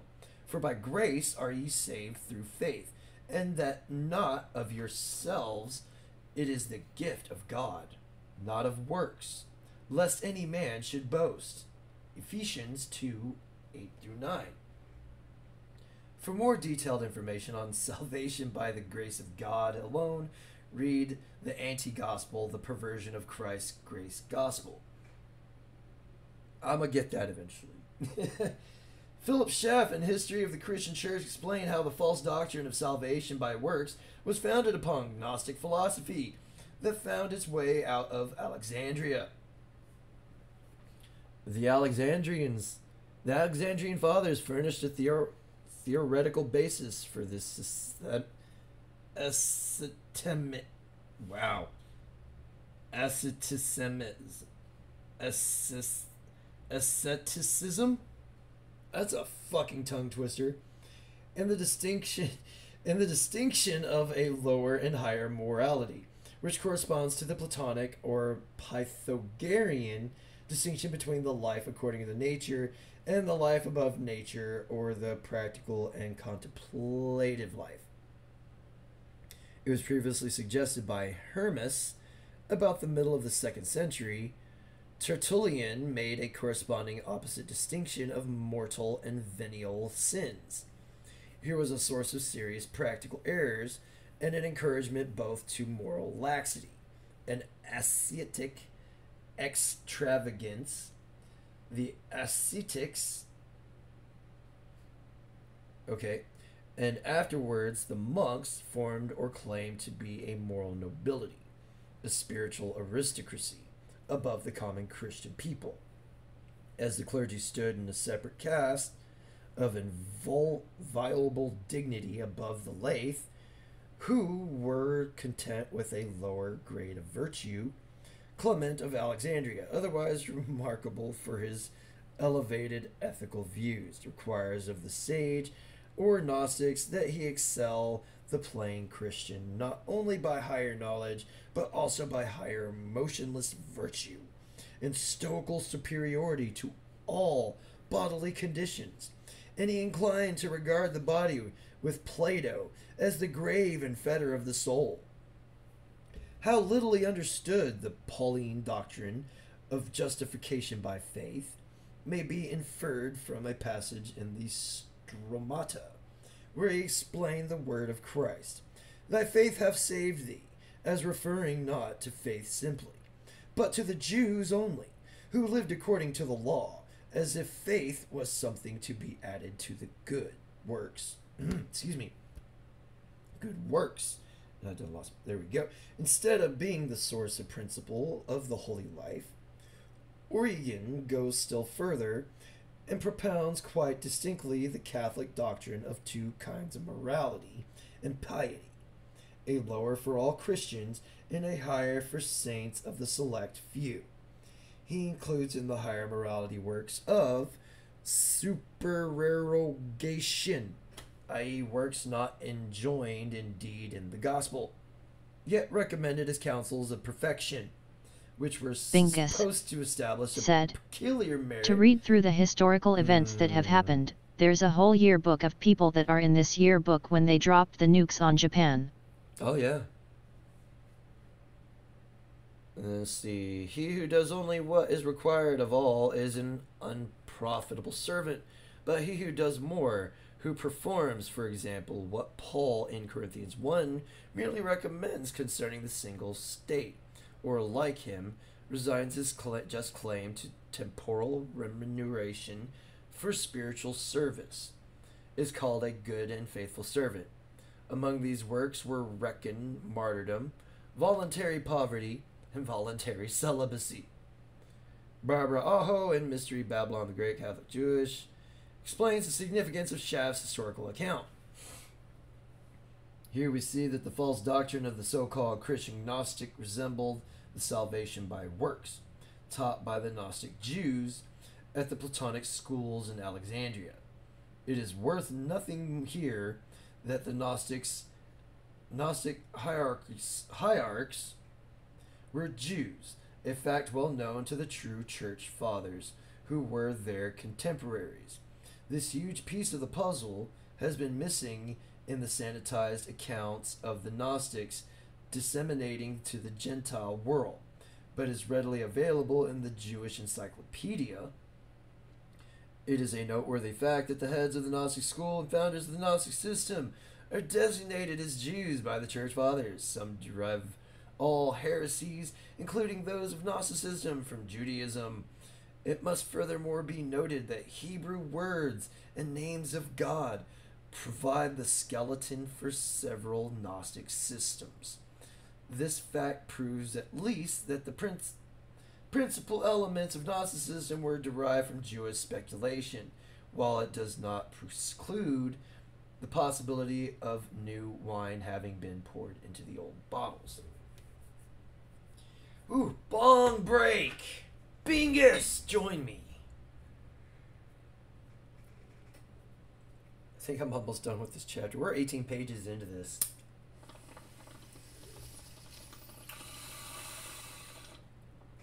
But I appreciate y'all hanging out and listening to this with me. While I put this very useful knowledge out there that doesn't get taught in schools.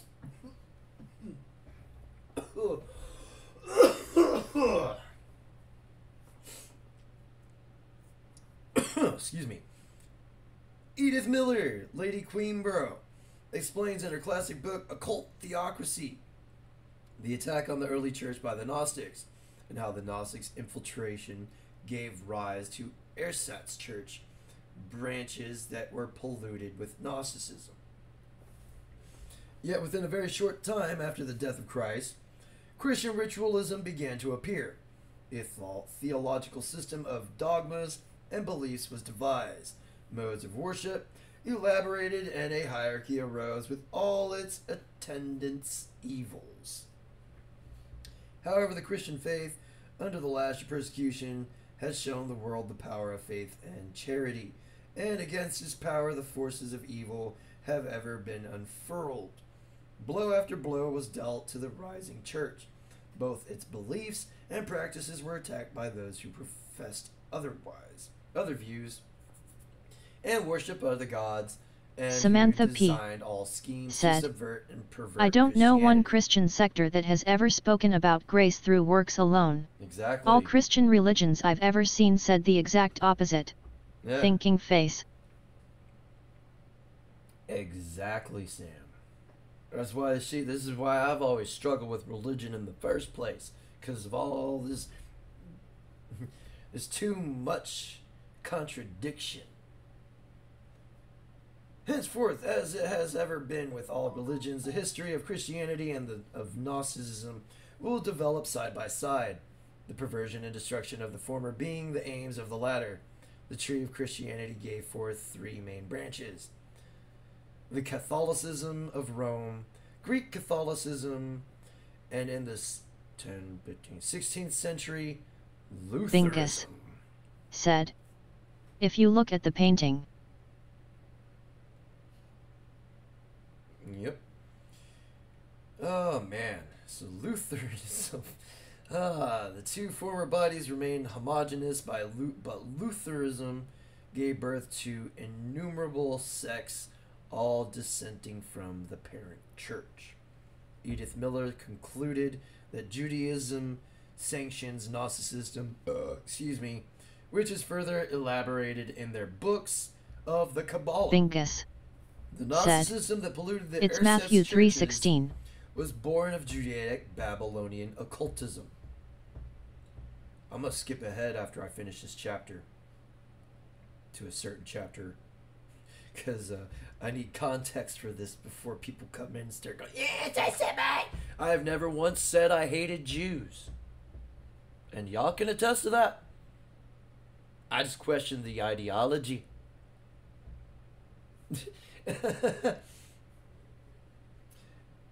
Irenaeus, who died in 202 AD, Said, identified the Jews sorry, as the not that one." of the Gnostic philosophy that threatened to spin the early church into apostasy. Arising among these men, Saturninus, who was of that Antioch, which is near Bingus. Daphne, and Said, Matthew laid 4:16.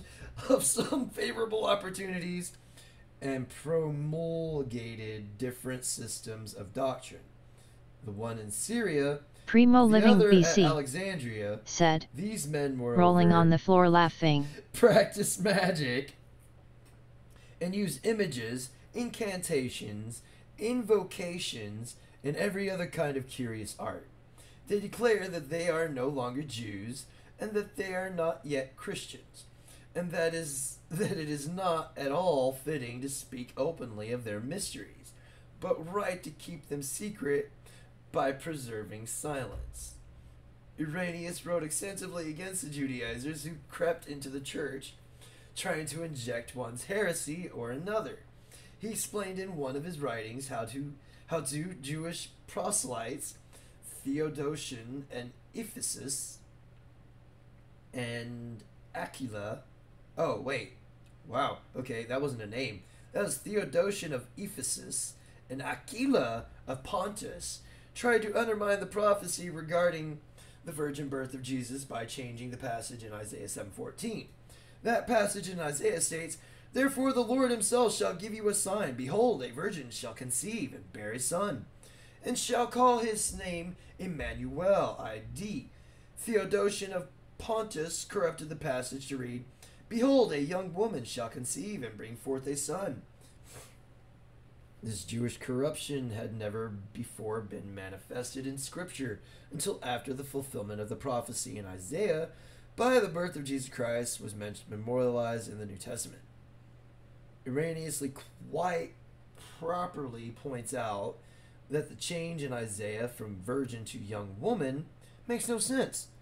The prophecy in Isaiah is supposed to be a sign from God's birth of Christ. Matthew explains it. Emmanuel means God with us. Behold, a virgin shall be with child, and shall bring forth a son, and they shall call him his name Emmanuel, which being interpreted is God with us. Matthew 1:23. If the passage states that the sign is to be that a young woman is to conceive, it loses all meaning since that is not a sign, since young women conceive regularly. The sign must be something unusual in order for it to be a sign. The virgin birth of Jesus was that sign as prophesied by Isaiah. The virgin birth of Christ is fundamental to Christianity. If Jesus was merely a man born of natural processes, then his death on the cross not atone for the sins of others. He could not be the perfect, unblemished sacrifice. Hence, Jesus could not be the Savior. Again, gotta remember, the Pharisees, who were Jews, had Jesus killed, but they were also in bed with the Romans, so. Jews today argue that correct rendering of the Hebrew word in the passage should be young woman instead of virgin. They are wrong. The Hebrew word is alma, and it means virgin. The argument of the Jews makes no sense since Jews reject Jesus as the Messiah. They are still looking forward to the Samantha birth of the Messiah. P. Said. I thought Mary was a prostitute. And that yes, she had an immaculate conception, but then she was a prostitute. That's Not the same as being a virgin, though. No, no, no. I must be mixed up. Yes, that's Mary Mag Mary Magdalene was the prostitute, I believe. Not uh Jesus Christ's mother. Well, yes, they shared the same name. Um I think he met Mary Magdalene at uh when he at the uh, at the I think it was the well in Gal- Galilee.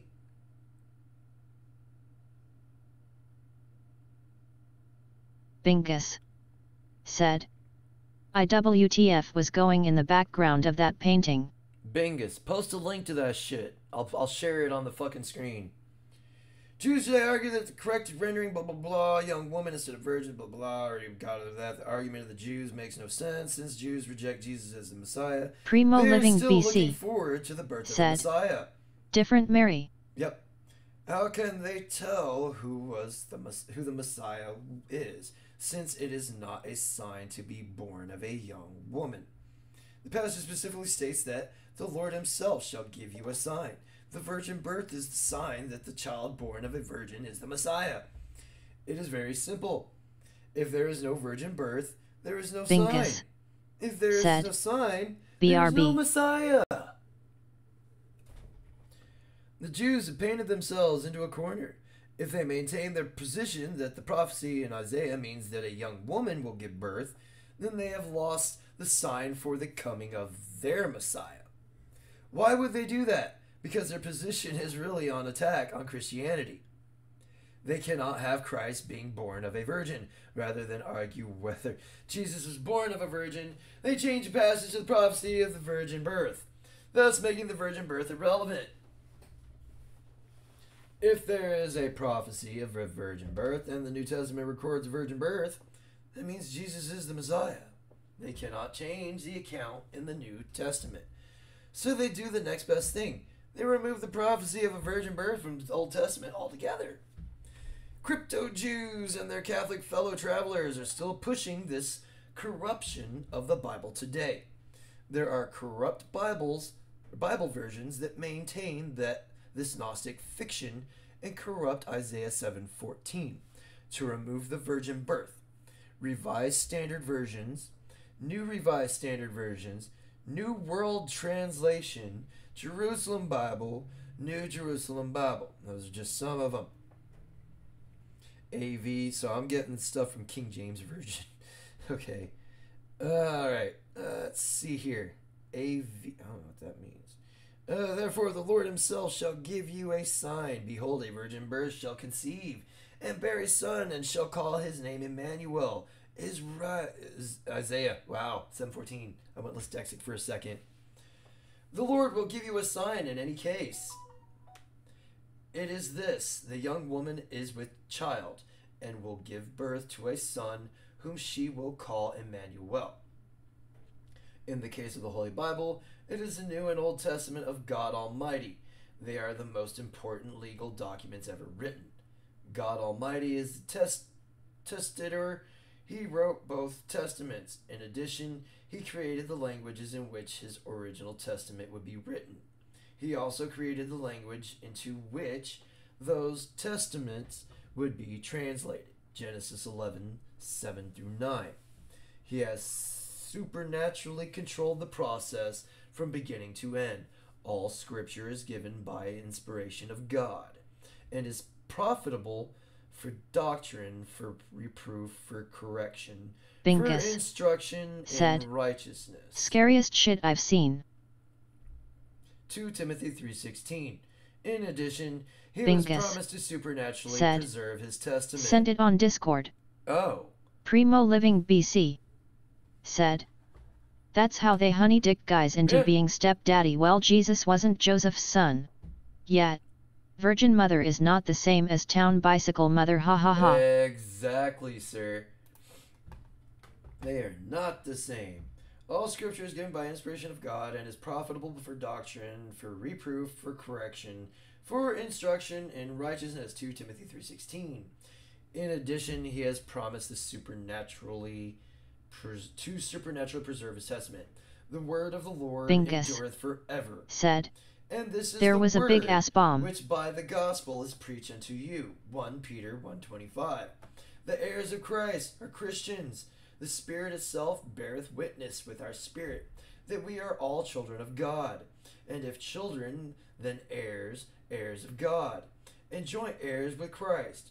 If so be that we suffer with him, that we may be also glorified together. Romans 8:16 to 17 crypto Jews and Catholics cannot eradicate the Word of God because God has promised to preserve it forever. They, therefore, have created a whole population of corrupt Bible versions, and that it will be difficult for Christians to figure out what is the true Word of God. The pure Word of God in the English language is the authorized King James Version. That's the closest we're going to be able to get to the original.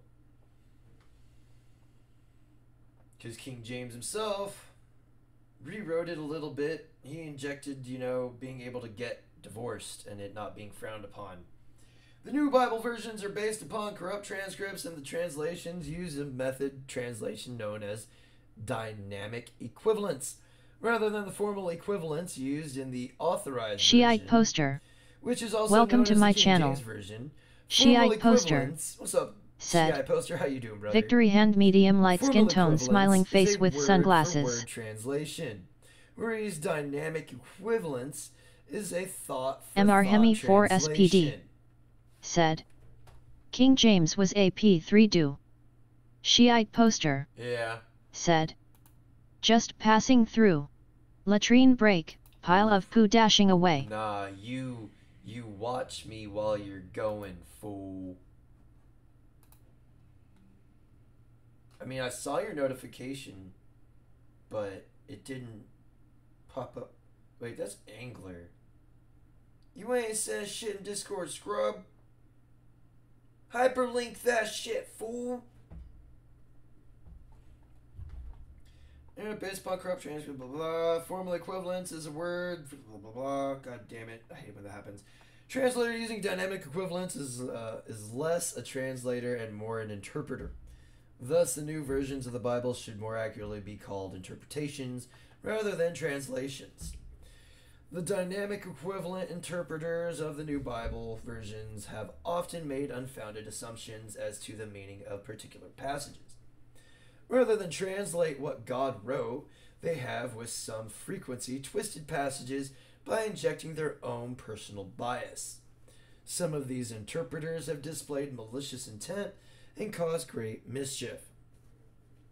The subjective bias of the interpreters in the New Bible versions have caused changes in the New Version's English Bible that are not supported by any of Greek or Hebrew texts. For example, dynamic equivalence caused 6,653 English word changes in the New International Version. Samantha P. said. My own heart leads me that way. Slightly smiling face. Yeah, you ain't sent shit to me. Last thing in our Discord is is everyone okay? And me going mentally, no. We're all fucked in the head. I've got some deleted users on here. Uh oh. People got off Discord. Yeah. Hyperlink that shit in the chat, fool. I need a hyperlink too, anyways. Ah, you cunt.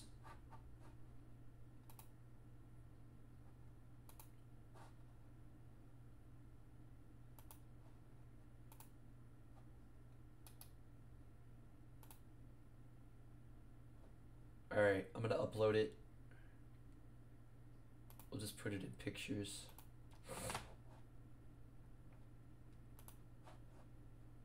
Alright, where is that's a media file. I need not a window capture. Damn it, I have to add it. Okay. We'll go image, add source.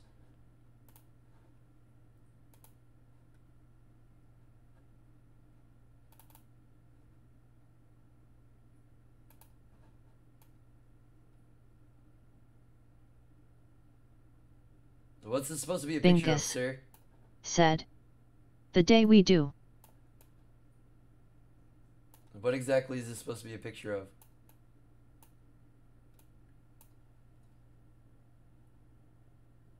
Oh.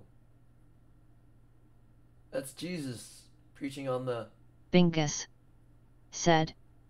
Big boom and your balls suck up. Okay. I see. Anyways, this just covers all the. Let's see here. Uh, English word changes in the New International Version. Approximately 4,000 word changes in the New American Standard Bible. And approximately 2,000 word changes in the New King James Version. That's why I only go to the King James Version. Bingus. None Said. of which are supported by Matthew words- 4:16. Okay. Combined effect of having a corrupt text and then having that text interpreted using dynamic equivalence has been that the uh, NIV has 64,098 fewer Bingus. words in the AV. Said. the Fallout Bible 3. Okay.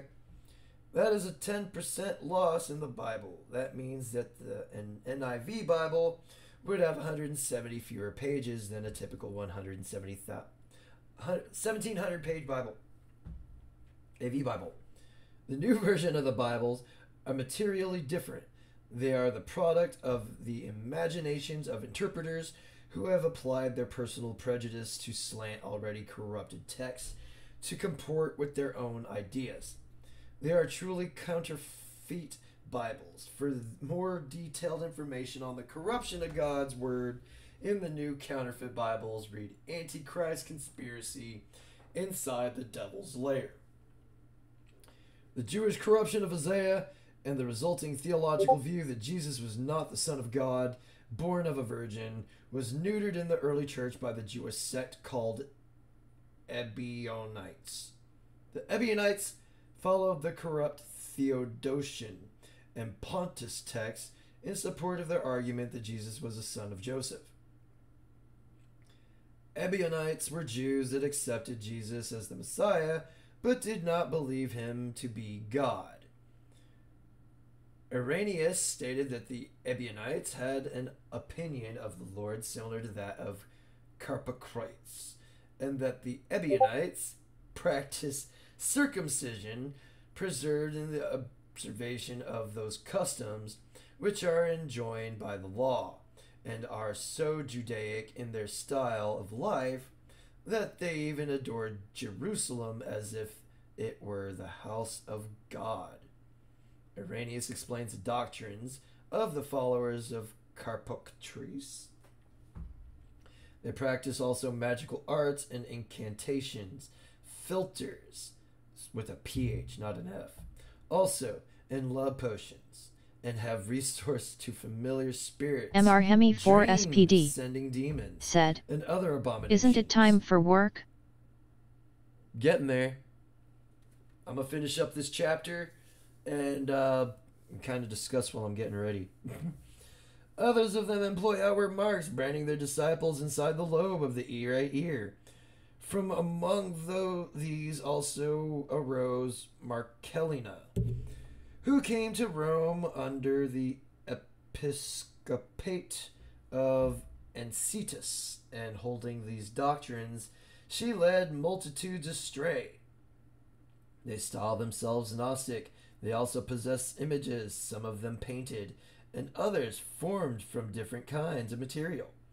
While they maintain that a likeness of Christ was made by Pilate at the time when Jesus lived among them.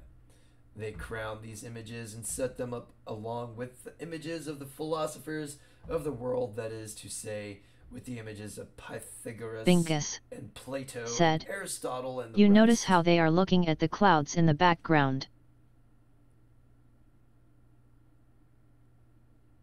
Um, it looks like they're watching him.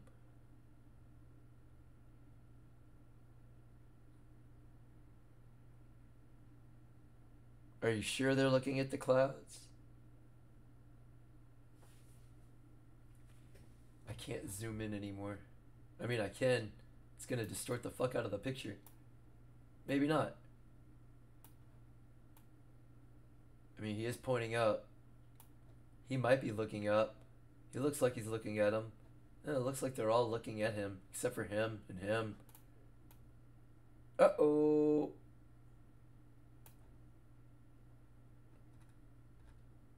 No, let's go ahead and close that. It's your perception, sir. It's, it's Bingus. the angle and everything. said. It looks like it to me. Irenaeus explained that they have also other modes of honoring these Bingus images after the same manner said, of Gentiles. Some are looking away. Carpocrates had such an elevated pride through their esoteric knowledge of magic that some of them declared themselves similar to Jesus. That is exactly what we see in Roman in the Roman Catholic Church today, where the official doctrine of the church is that the Catholic priest is alter Christos, another Christ. The Jewish Ebionites and followers of Carpocrates, whatever the fuck, Carpocrates were Gnostics steeped in Babylonian witchcraft, magical arts, and incantations. Some have argued that the Jews follow the Old Testament law and that therefore there is no harm for Christians to follow the Jewish customs. John Chrysostomy, Chris Chrysostom, wow, who witnessed firsthand the early attempts to Judaize the Christian church during the 4th century, puts that argument to rest. But at any rate, the Jews say that they too adore God. God forbid that I say that. No, Jews adore God. Who says so? The Son of God says so. For he said, If you were to know my Father, you would also know me. But you neither know me, nor do you know my Father. Could I produce a witness more trustworthy than the Son of God? Chrysostom warned against the threat posed by, to the church by the Judaizers, who were enticing Christians to follow their example of taking part in the Judaic Babylonian liturgy practiced in the synagogues. So is it that I extort, exhort you to flee and shun their gatherings. The harm they bring to our weaker brothers is not slight. They offer no slight excuse to sustain to the folly of Jews. For when they see that you, who worship the Christ, whom they crucified, are reverently following their rituals, how can they fail to think that the rites they have performed are the best and our ceremonies are worthless? For after you worship and adore at our mysteries, you run to the very men who destroy our rights. Paul said, If a man sees you that you that have knowledge sit at meat in the idol's temple, shall not his conscience, being weak, be emboldened to eat those things which are sacrificed to idols? And let me say, if a man sees you that have knowledge, come into the synagogue and participate in the festival of the trumpets.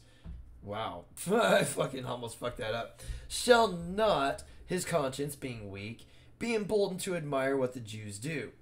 He who falls not only pays the penalty for his own fall, but he is also punished because who has stood firm is rewarded not only because of his own virtue, but people admire it for leading others to desire the same thing. What else do you wish me to tell you? Shall I tell you of their plundering, their covetousness, their ab- uh, uh, abandonment, abandonment of the poor, their thefts, their cheating in trade? The whole day long will not be enough to give you an account of these things. But do their festivals have something solemn and great about them? They have shown that these people too are impure. Listen to the prophets rather than uh, rather listen to the prophets rather listen to God and with how strong a statement he turns his back on them. I have found your festivals hateful. I have trust them away thrust them away from myself. In Chrysostom's homily given at the Antioch church, he pleaded with the Christians not to follow the Judaizers who were attempting to entice Christians to follow the Jewish Babylonian traditions and liturgy. Let me say what Elijah said against the Jews. He has the unholy life the Jews were living. At one time they paid heed to God, at another they worshipped idols. So he spoke some such words as these How long will you limp on both legs? If the Lord of God, our God is with you, come, follow him. But if Baal, then follow him. Let me too now say this against these Judaizing Christians. If you judged that Judaism is the true religion, why are you causing trouble to the church? But if Christianity is the true faith, as it really is, stay in it and follow it. Tell me this do you share with us in the mysteries? Do you worship Christ as a Christian? Do you ask him for blessings? And do you then celebrate the festival with your with his foes? With what purpose then do you have do you come to the church? Chrysostom was focusing on only one front of the Jewish attack, on the gospel. While he was rightfully concerned about the enticement of Christians into following the Jewish liturgy, he did not perceive that within the Aristats Christian community was an active Judaic strategy of inculcating Babylonian mysteries. Chrysostom was laudato- laudatory of the Council of the Nisha and Nis- Nicaea, N-I-C-E-A. He did not perceive that very council set as set a dangerous precedent and was, in fact, a subtle attack on biblical Christianity. The Council of Nicaea was the first in a series of many councils that created an orthodoxy for Jewish Babylonian religious doctrine masquerading beneath Christian verbiage. It was the later Council of Trent, 1545 to 1563, that issued curse after curse upon all who adhere to biblical Christian doctrine. The edicts of the Council of Trent have never been rescinded and remain the standard for the Orthodox Roman Catholic Church. A clue to the nature of and real objective of the Council of Nicaea, Nicaea, Nicaea is found in the fact that Emperor Constantine made a ceremonial entrance at the opening of the council. As Eusebius described Constantine himself proceeding through the midst of the assembly like some heavenly messenger of God, clothed in raiment which glittered as if we were with rays of light, reflecting the glowing radiance of a purple robe and adorned with the brilliant splendor of a gold and precious stones. The council was not organized by church leaders, it was organized by a pagan emperor, Emperor Constantine.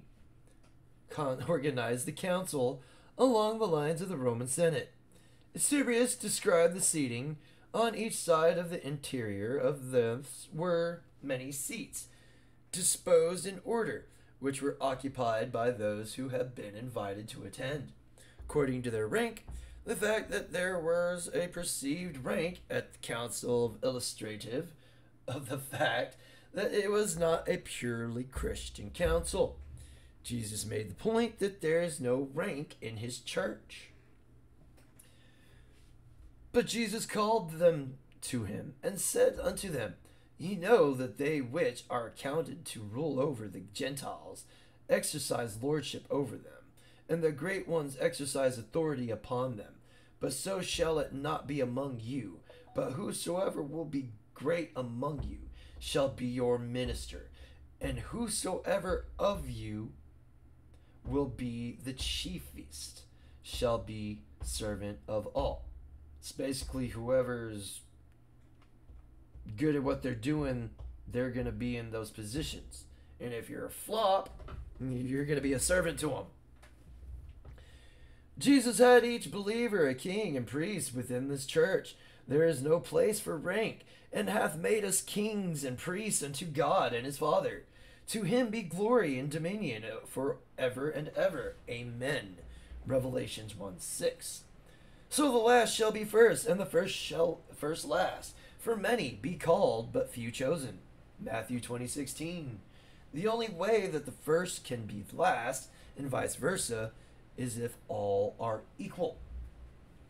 In fact, it is anti Christian to have a council of men deciding by popular vote what is and what is not Christian doctrine. True Christians rest on the authority of God's infallible word, not the votes of fallible men. While the Council of Nicaea issued edicts that offered correct biblical interpretations that was cover cover for the adoption of heathen ideology.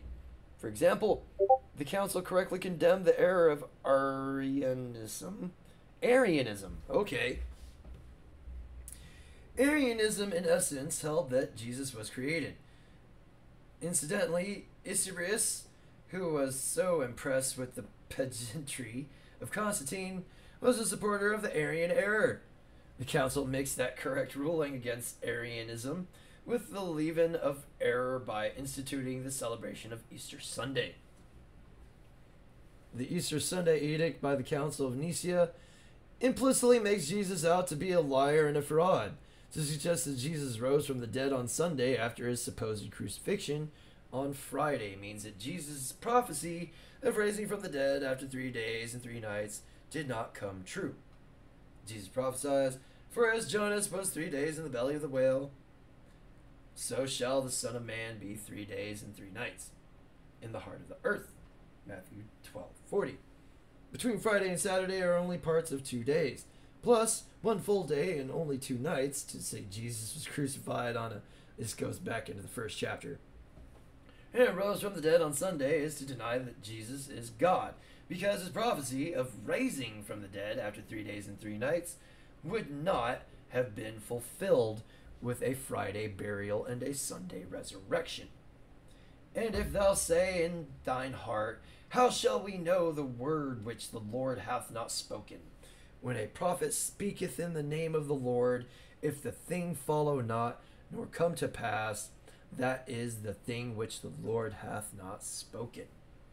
But the prophet hath spoken it presumptuously. Thou shalt not be afraid of him. Deuteronomy 18 21 22. To add insult to injury, the Council of Nicaea put the heathen title of Easter on the celebration of Jesus' resurrection. Easter is a word derived from the adoration of worship of the pagan queen of heaven, Astarte, or Ishtar. Mtau Outlaw. I-S-H-T-A-R. Welcome to my channel. Hislop states, Mtau Outlaw. What means the Said. term Easter itself? Broly. Yee! What's good, Outlaw? How you doing, brother? What means term Easter itself? It is not a Christian name. It bears Chaldean Outlaw. Babylonian origin Said. on its very SS2 Gohan is better rolling on the floor laughing.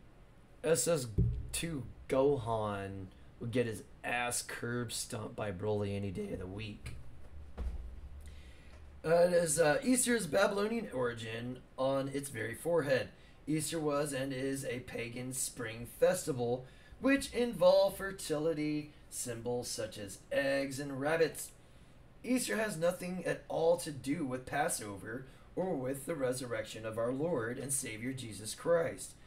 Calling Easter a holiday of the resurrection of Christ is mixing a heathen festival with the Christian history. Easter Sunday is a spiritual seduction whereby people have been convinced to follow the tradition of a Friday crucifixion and Sunday resurrection instead of the biblical account of a Wednesday crucifixion and Saturday resurrection. The false doctrine of Sunday resurrection misinterprets what took place when the disciples arrived at the tomb on the day after the Sabbath. Jesus had already risen from the time. In fact, the disciples found the tomb empty, and an angel told them that Jesus had already risen. Mark 16, 1 through 6. Jesus fulfilled his prophecy that he would rise from the dead exactly three days and three nights after his burial. Matthew 12, 40, 20, 19.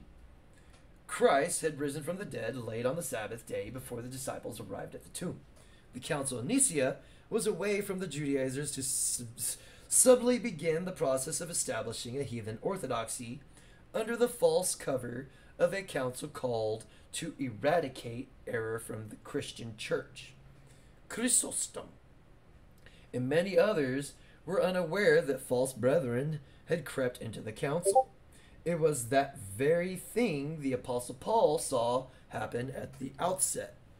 And that because of false brethren unaware brought in, who came in privily to spy out our liberties, which we have in Christ Jesus, that they might bring us into bondage. Galatians 2 4. The Judaizers were ever so subtle, they even caused the Apostle Peter to fall for their error. The Judaizers have convinced Peter to separate himself from the Gentiles and congregate with the Jews to follow the Jewish uh, customs, rather than embracing the spiritual freedom offered by Christ. Paul, who was a former Jew of Jews, knew what the Jews were up to and had to confront Peter about falling for their subtle deceptions. but when Peter was come to Antioch, I withstood him to the face because he was to be blamed. For before that certain came from James, he did Samantha eat with P. the Gentiles. Said. Jesus' birthday is supposedly in spring and was never in winter. Exactly. This could possibly make it fall on a Sunday and the day of my birth which matches up with the birth of Siddhartha and several others. Hmm? They they moved it to the twenty third. I don't know why. Uh, Paul in Galatians states that the Judaizers were Tau bent Outlaw on bringing the Christians said, back into bondage. Hi Samantha P. We see this same thing happen at the Council of Nietzsche. The council edicts were to be enforced. The Christians were to be brought into bondage to follow the new Judaic Babylonian orthodoxy under Christian cover. Constantine used the force of government to bring the members of the Ersat Church, Ers, Ersatz Church into bondage under the edicts of the Council of Nicaea.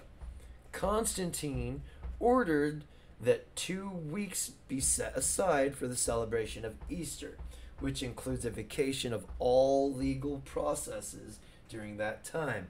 Imagine that. The Emperor, Pope of Rome, using his absolute authority to enforce the edict of the Council of Nicaea. When a religious custom must be enforced by government edict, that is a sure sign that it is not Christian. It is the very thing that Paul was concerned about in his letter to Galatians. Hislop states the popular observances still attend the period of its celebration amply confirm the testimony of history as to its Babylonian character. The hot cross buns of Good Friday, and they dyed eggs of Pasch or Easter Sunday, figured in Chaldean rites just as they do now. The buns, known to be the in- identical name, were used 69 worship of the megacom fire and find Whoa. LV. I will L. Prawn bot. Welcome to my Fuck channel. Off. Eat a gonorrhea 69 laced megacom dick. fire and find LV. You are I will L. Said. Hot face sweat droplets hot face.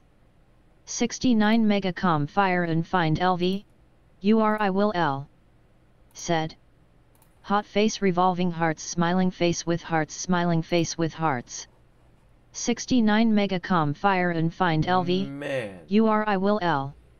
Said. Where have we seen Love letter white heavy check mark heaven? white heavy check Wait, mark. Blah, blah, blah, blah.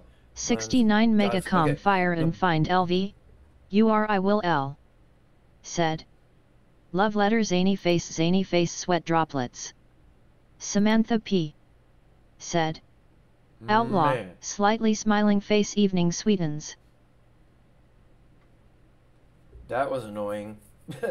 the buns known to by that identical name were used in the worship of the Queen of Heaven, the goddess Easter. Where have we seen this Queen of Heaven mentioned by Hislop before? In Jerusalem. The Queen of Heaven was worshipped by the Jews during the time of Jeremiah. The children gather wood and the fathers kindle the fire, and the women knead their dough to make cakes to the Queen of Heaven, and to pour out drink offering unto other gods, that they prov- may provoke me to anger. Jeremiah 7:18.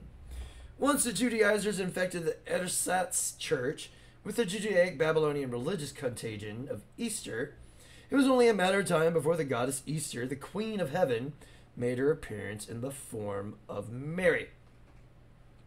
Today in the Catholic Church, the fifth glorious mystery, the coronation, recited during the Catholic Rosary, is a dedication to Mary, the Queen of Heaven. The official Catholic doctrine is that Mary is the Queen of Heaven.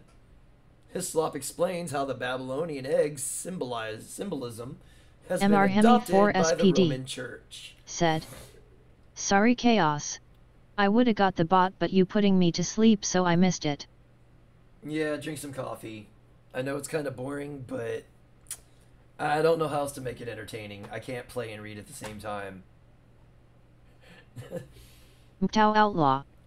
Now Said, the Roman Church adopted Hello to everyone I missed flexed biceps. egg Astra, As, Astarte, and consecrated it as a symbol of Christ's resurrection. A form of prayer was even appointed to be used in connection with it. Pope Paul V, teaching his superstitious votaries thus to pray at Easter, Bless, O Lord, we beseech thee, this thy creature of eggs, that it may become a wholesome sustenance unto thy servant, eating it in remembrance of our Lord Jesus Christ. The Scottish Guard, April 1844. Gieseler, speaking of the East Church in the second century, and this is a long fucking chapter. Paschal observance says, in it, the Paschal festival is commemoration Samantha of the P. death of Christ. Said. They, the Eastern Jesus himself never said to create a new religion. Mhm. He said that he was The king of the Jews.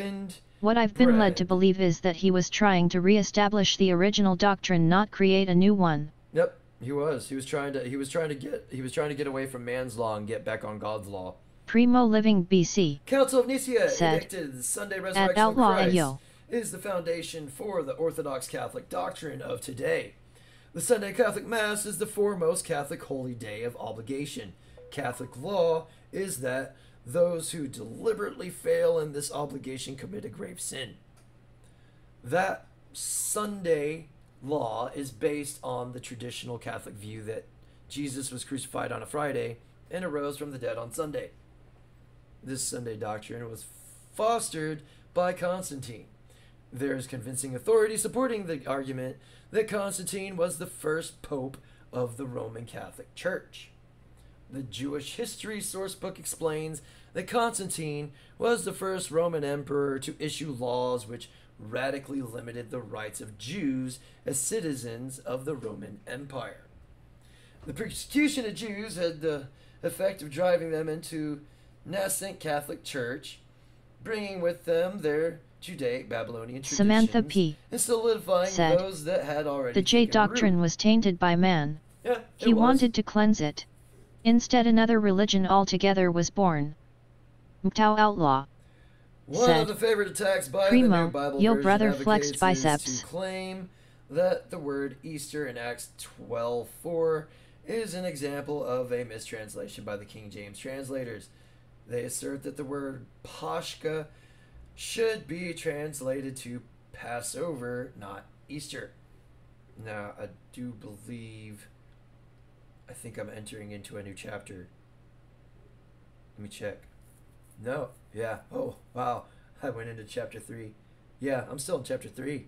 So, chapter chapter 4 is Kabbalah and Talmud. So, we'll get into that uh, when I get back tonight. I'm going to try and finish up the rest of this chapter. I think I got 8% left. oh, man. Let's see. Now, about the time Herod, the king stretched forth his hands to vex certain of the church, and he killed James, the brother of John, with a sword. And because he saw it pleased the Jews, he proceeded further to take Peter also. Then were the days of unleavened bread. And when he had appeared apprehended him, my bad, he put him in prison and delivered him to four quartonians of soldiers to keep him intending Primo Living BC Easter to bring said, forth the people. Pasqua is the Italian word for Easter. Yep. Now, about that time, Herod the king stretched, blah, blah, I just read that. Then he killed James. I just read all this. This was Acts 12 1 through 4. The so called biblical scholars being their argument on the right foot, but then stumble on man's wisdom. They correctly note that Easter was and is a pagan spring festival. They correctly assert that Easter has nothing at all to do with Passover or with the resurrection of our Lord and Savior Jesus Christ, because Easter is in fact a pagan holiday. The New Bible Version translates the Greek word Pashka in Acts 12 as Passover, thinking that God could not possibly mean to prefer to a refer to a pagan holiday in his holy scriptures. In Acts 12:4, however, God is not using the word Pashka to describe a Christian or Jewish holiday. He is describing the intentions of Herod. Herod intended to wait until the Easter pagan holiday was over before he brought Peter out before the people. While Passover is one of the possible English translations for Pashka, the translation in the context of Acts 12:4 is simply wrong. The more accurate translation is Easter. Samantha which is P. translation found in the King said, James Holy Bible. Getting a call BRB. Yep, yep. Do what you gotta do. I may or may not be here. Uh, let's see. Pashka is a word for Outlaw Chaldean origins and means said, either Passover. Did I miss something? or- Why are you reading the Bible? I'm not reading To explain a topic I missed, I take it. I'm I'm reading Solving the Mysteries of Babylon the Great. This has it goes into it, it covers a lot of stuff that I've been covering in regards to communism, socialism, and how the Vatican and the Roman Catholic Church are behind uh, a lot of the uh, ideologies that are being pushed nowadays. And it has quotes and, and sources in here. That's why I keep reading stuff off. It, it, it's there's reasons for this, but yet I am reading "Solving the Mysteries of Babylon the Great," and uh, it's it's got a lot of very, a lot of historical information in there. Stop, Garfield. Pashka, however, cannot possibly mean Passover in Acts 12:4 because Herod intended to keep blah blah blah. The 14th day of the first month of the Jewish calendar is the Passover. Leviticus 23 4 through 5. Exodus 12 17 8. Passover is immediately followed by the seven days of unleavened bread. Leviticus 23 6 to 7. And Exodus 12 15 16. Because Passover is memorialized with unleavened bread, Exodus 12, 17 to 18, it and the seven day feast of unleavened bread are both referred to as the Feast of Unleavened Bread. That's Matthew 26, 17, Mark 14, 1, 14, 12, Luke 22, 1 through 7, Leviticus 23, 6, and Exodus 12, 17, 20. Combining the Passover with the Feast of Unleavened Bread, we get eight days of unleavened bread that span from the 14th day Passover until the 21st day of the first month in the Jewish calendar. Genesis 12:18. These are the feasts of the Lord, even holy conviction convocations, which ye shall proclaim in their seasons. In the 14th day of the first month, even is the Lord's Passover. And on the 15th day of the same month is the feast of unleavened bread unto the Lord. Seven days ye must eat unleavened bread. In the first day ye shall have a holy convocation. Ye shall do no servile work therein, but ye shall offer an offering made by fire unto the Lord seven days. In the seven days is a holy conviction convocation. Ye shall do not servile work therein. Leviticus 23, 4 to 8. In Acts 12, 1 through 4, we see that Peter was taken into custody during the day of unleavened bread that followed Passover. Passover had already taken place because Passover had already taken place by that time. It makes no sense for the passage to say that Herod intended to hold Peter until after Passover. The pagan holiday Easter, on the other hand, followed Passover and had not yet occurred. Herod was a Jew steeped in the Judaic Babylonian customs of celebrating Easter. Herod intended to hold Peter until after the pagan holiday of Easter. Therefore, the King James translations were correct when they translated Pascha as Easter, and the modern translations are wrong in translating Pascha as Passover. The translations of the New Bible Version are more concerned with changing and twisting God's words to comport with popular opinion than using God's word to change the world. The New Bible conversions are just one strategy among many to Judaize the Ersatz church.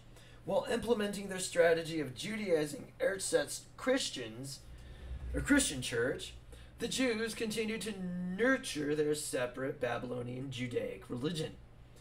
The religious view of the Orthodox Jews is one of superiority. They view themselves as the rightful rulers of the earth.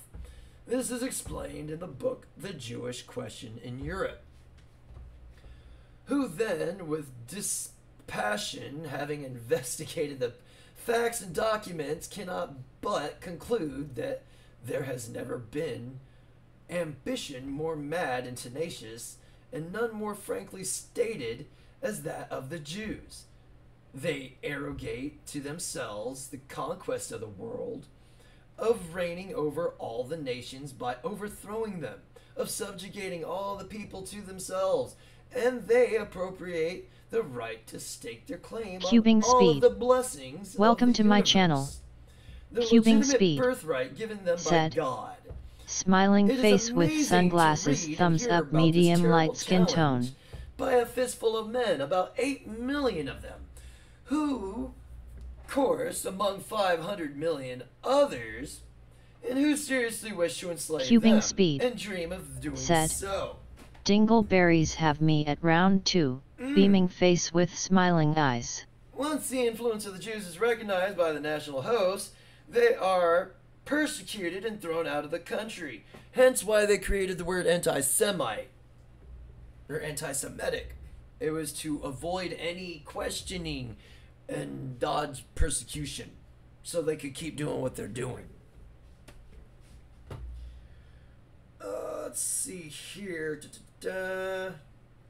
Oh, this is man. Uh, there's no end to the persecution of the Jews, which have been carried out before, still, and everywhere. But these persecutions were and are the consequences of their mad wickedness. All of this is manifested by the avidity of their ambition. By its legitimization, by virtue of their superiority, by their sense of privilege over the people they live among, now and previously. They have demonstrated themselves to be intra- intractable and hostile evildoers towards the nations that have tolerated them and do tolerate them now, bestowing upon them, above all, the blessings of the right of citizenship. What causes the bodily politic to awake and recognize the need of to rid itself of the Jews? The discovery of the usury of the Jews is bringing about their ruin. It is usury which threatens the continued existence of the state and, if unchecked, leads to its ultimate destruction. The human cause of this fact, of the persecuted of the Jews, unique in history, are witnessed by the Jews' insatiable appetite for turning to usury to gain power through betrayal in order to dominate, and whenever possible, to take over and overthrow the state. In every country, this immutable law of Hebrew Primo Living BC every country said, is always to determine What's up, cubing clinking beer mugs? well-being and liberty of the inhabitants. Said. I'm fated. This is what happened to Rome, which was economically and material subjugated to the Jews, as were all the major cities, because Rome was ran by the Vatican. The threat posed by the Jew and the Vatican was ran by Jews. The popes, the majority of them were Jews, and I'll I saw, uh, I'll bring that up eventually too. It's it comes up later. The Jewish financial influence give it, gives them concomitant influence in religious affairs. The powerful Jewish banking family of the Rothschilds, uh, members of which are high officials in the Priory of Sion. Bingus. and the elders of said, Zion They have taken that over one the dude. Vatican's financial. God damn it, son of a bitch! Eh, he who pays the piper calls the tune. We see in John chapter two, Jesus reacts to the corruption of the temple workership by the Jewish merchants and money changers. And the Jews' Passover was ha- at hand, and Jesus went up to Jerusalem and found in the temple those that sold oxen and sheep and doves, and the changers of money sitting. And when he had made a scourge of small cords, Bingus he drove them all out of said, the temple. And the sheep Then the war oxen between those dudes and the other mm-hmm. darker people went to war. Take these things Bingus hence. Make not my said, house and house just like 500. The political power and influence Primo of the Living Jews BC stems directly from their said, control Unacceptable views Jews. The current events in the United States is clear evidence of the historical fact. Representative Louis T. McFadden in May 2nd, 1934, address stated, It would be a monstrous mistake for any intelligent citizen of whatever nation to close his eyes to the evident fact that for 96 years the Jews have surely rapidly, through almost invisibly, climbed to the heights of government wherefrom the masses are ruled. Politically, financially, and economically, they have seized the reins of government of all nations, and their invasion in the realms of social, educational, and religious fields is not less important. Bingus said, What you haven't experienced yet. Bingus said, As a fisherman, Yeah. Congressman McFadden, who was chairman of the U.S. House of Representatives Banking and Currency Committee, knew the power of the Jews wielded and the calamities that they caused, just as the protocols of the learned elders of Zion provided. The Talmudic Jews control the money Bingus supply through a central said, bank. The Ick shit because I fish, Reserve. there's shit in the ocean. You want to know something? I'm going to say this. The Jews single handedly funded the transatlantic slave trade. And that statement right there fucking proves it. U.S. government institutions. They are not government institutions, they are private credited monopolies which prey upon the people of the U.S. for the benefit of themselves and their foreign and domestic swindlers, and rich and predatory moneylenders. In essence, the international Jewish money power used corrupt politicians to push through the Federal Reserve Act, which gave them a monopoly to print the money of the nation. The Federal Reserve Act legalizes theft for a select few commercial banks that make up the Federal Reserve. Bingus McFadden exposed methods that the Jews Sometimes used it's to flat. obtain their Primo Living BC over the government said, of the United States. They were almost wiped out in the 40s and less than a hundred years later they have all the money. How does that happen? because I think it was all propaganda. Ramajama Taylor. Welcome to my channel. It was all Ramajama Taylor. fabricated. Hell yeah, because Bingus. think about it.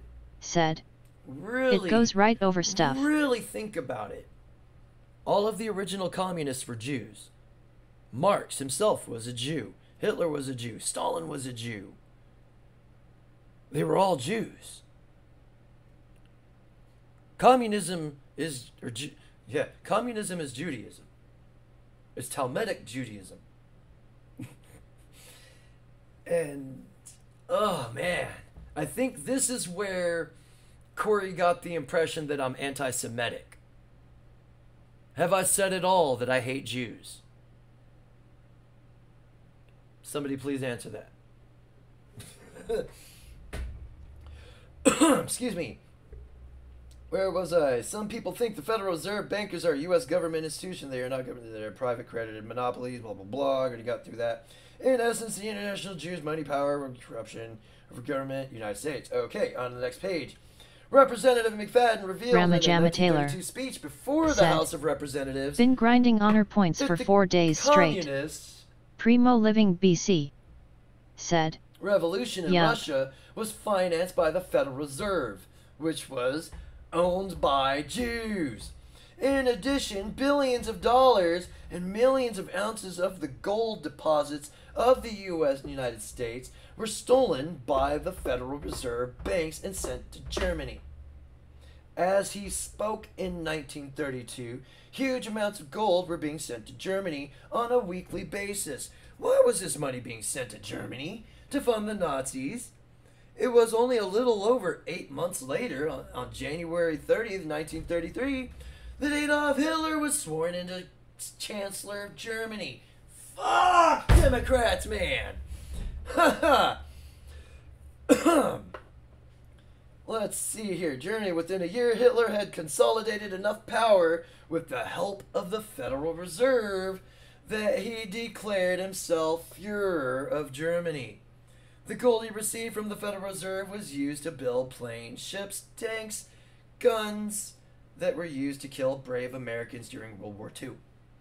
The Federal Reserve Board and banks funded both communists in Russia and the Nazis in Germany, all at the expense of the hard labor of the American middle class. Even during World War II, the United States funded the communist Russians through the Lend Lease program. In addition to our own financial burdens of the war, the U.S. taxpayers funded the Germans and the Russians. The Jewish bankers, of having funded both sides of the war, made out like bandits. As a consequence of Congressman McFadden's discovery of treasonous criminal conduct on May 23, 1933, he brought formal criminal charges against the Board of Governors of the Federal Reserve Bank, the comptrollers of the currency, and the Secretary of the United States Treasury.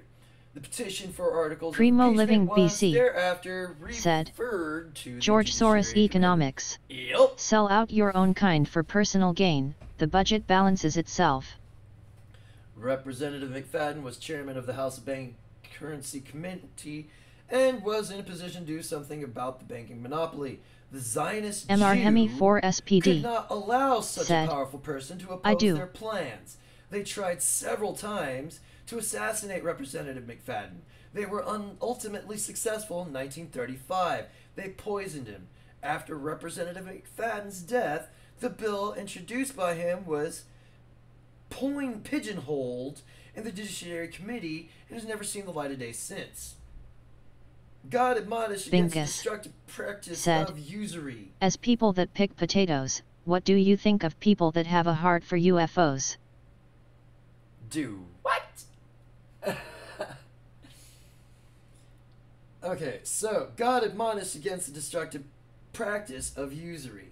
See examples Exodus 22 25, Leviticus 25 36 to 37, Deuteronomy 23 19, Nehemiah, Psalms 15 5, and Proverbs 28. Why would the Jews ignore the commands of God against usury? Said, Because the Orthodox We all have a Jews usefulness. do not follow the Old Testament. They have replaced God's laws with their traditions. They follow their oral traditions, the Talmud, which in part have been memorialized in the Talmud. As I said, Israel Shahak explains that although the Talmud forbids a Jew on pain of severance, severe punishment, to take interest on a loan made to another Jew, the rabbis have figured a con- contrivance to get around that restriction. Leave it to Jewish lawyers to find loopholes and manipulate the system. A business dispensation called Heter Iska was devised for an interest-bearing loan between Jews. So basically allowed them to trade between. That this covers that history. The influence of the Talmud over the Jewish banking practices is witnessed by the fact that when Alan Greenspan, who is an atheist Jew, how the fuck are you an atheist? What? Makes no sense. Took his oath of office as chairman of President Nixon's Council of Economic Advisors. He did so on a volume of the Talmud. He later went on to be appointed chairman of the Federal Reserve by Ronald Reagan. God damn it. Fuck Reagan, you fucked up a lot, dude. Why would Greenspan, who is an atheist Jew, which that's a double entendre in itself, or double fucking whatever the fuck, take an oath on the Talmud, which is a religious publication? because within the Talmud is found the doctrine of the devil that ye shall be as gods. Genesis 3 5. That is why there are a great number of Jews who claim to be atheists. In fact, some Jewish rabbis are atheists. Rabbi Bingus Sherwin.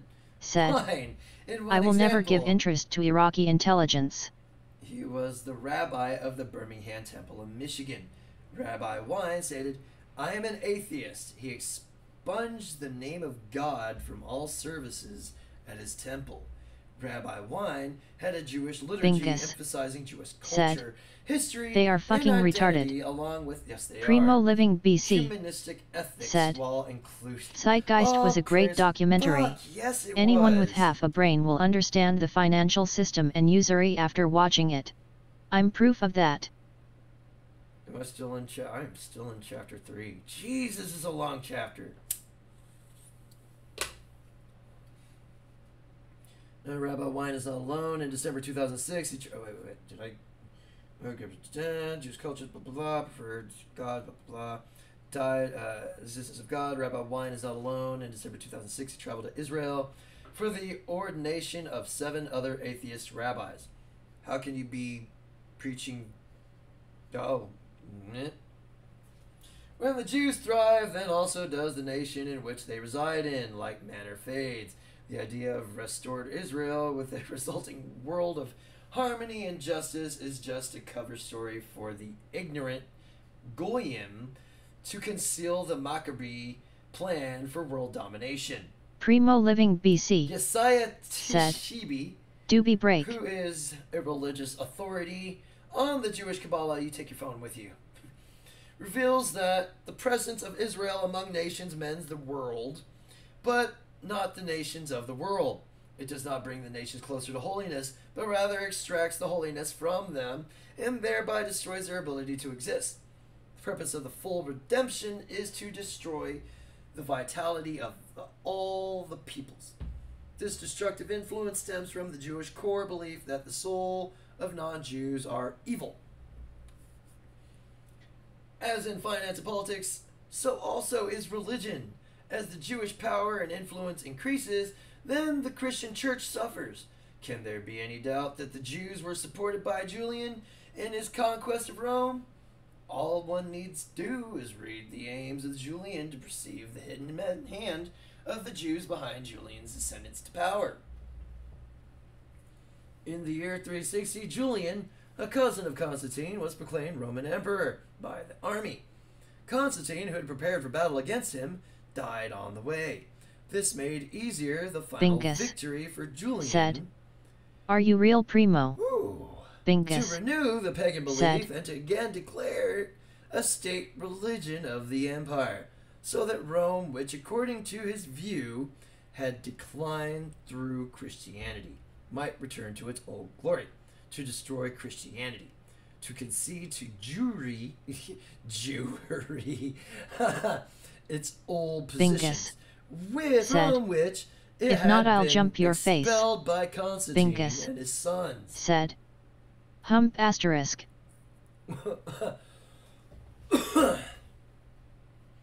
As the Jews gained influence, so also did the state increase the persecution of Christians. Hence why Christianity's been so heavily shit on over the last fucking Primo Living 67 BC. years.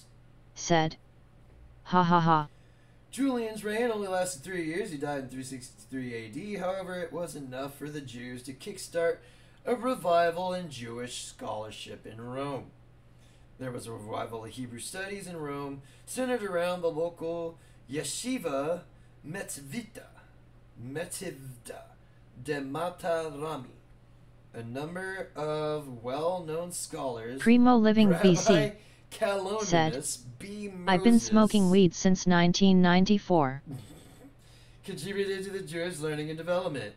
Roman Jewish traditions followed those practices practiced in the land of Israel, and to liturgical customs started in Rome spread through Italy and the rest of the world. Fuck, man, that was a lot of reading. And normally I'm just reading in my head. So, That's the end of chapter three. I'm gonna have to change title to chapter one, two, and three. Primo Living BC, Wow. said. It's a lot Ice take in the in. bong and everything brother. Mm. Bingus. Said. Whenever I date a girl that's in 2000 I'm like oh shit. Oh yeah, them are the wor- them them are the indoctrinated ones.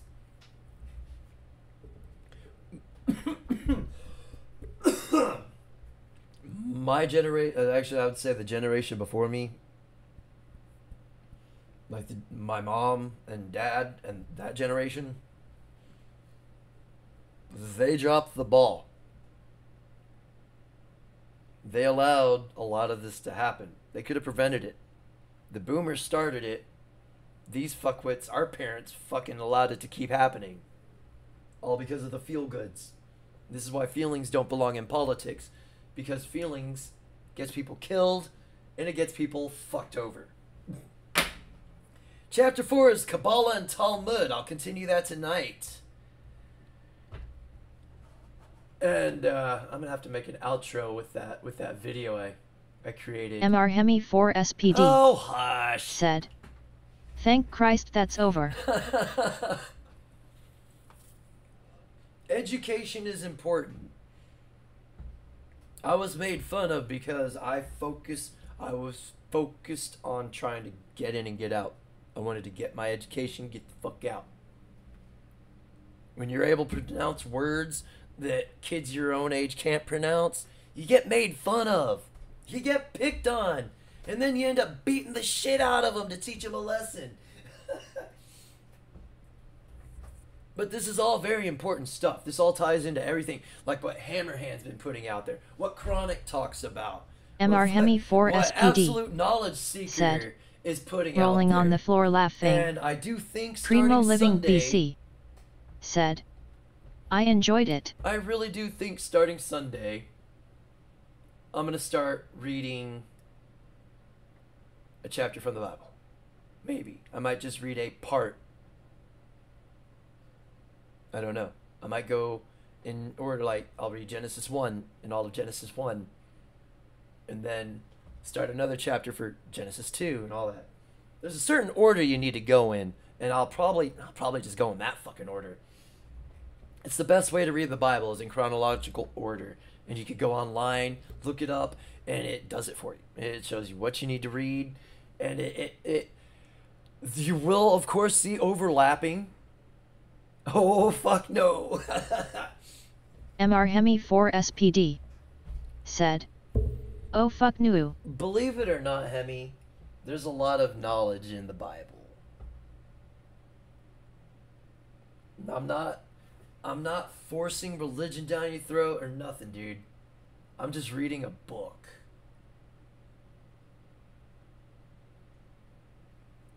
If you want to believe in God, that's your choice. Primo Living BC, said. I should play COD for your background while you read. It would be hilarious. I'm not gonna be the one to say, "Well, you're gonna burn in hell for all eternity." I'm not gonna. It's not. It's not my place to judge. But if I'm gonna judge, I'm gonna judge right. I'm gonna judge righteously. It's your choice if you don't want to believe in God. It's your choice if you don't want to believe in a higher power. It's your choice if you don't want to follow any of those doctrines. I'm just simply reading a book. but what God? MR Hemi 4 SPD, The Bible Said. it is now. I believe in God. MR Hemi have 4 SPD, the King James Said. version. Bible is bunk. I don't have the new King James version, which is indeed a pile of shit. I have the King James version. And that's about the purest form you're gonna get before it before it gets fucked. But yeah, I think I must start doing that. Anyways, fuck! It's almost four o'clock. I gotta go. Holy shit! Primo Living BC, said. The Odyssey is a great book as well. Oh fuck yes, the Odyssey and the Iliad. Oh my god, fucking great books, long books. Oh my god. Any roads. Shout out to everybody in the chat. I gotta take my ass to work. So, Let's see here who we got. Ramajama Taylor, Cubing Speed, MGTOW Outlaw, Shiite Poster, RC Beagle, Post Kebab, Sam P, Bingus Primo Living BC, Mr. Hemi for Speed, and the dirtiest rigger of them all, Riggs. Thank you for hanging out, everybody. I'm about to dip, dip, potato ship out. Thanks for subscribing. Your support has been greatly appreciated. And thank you to those just recently subscribed. I hope you stick around for the long run. It's a very interesting game, sir. Y'all take it easy. I'm out this bitch. Peace!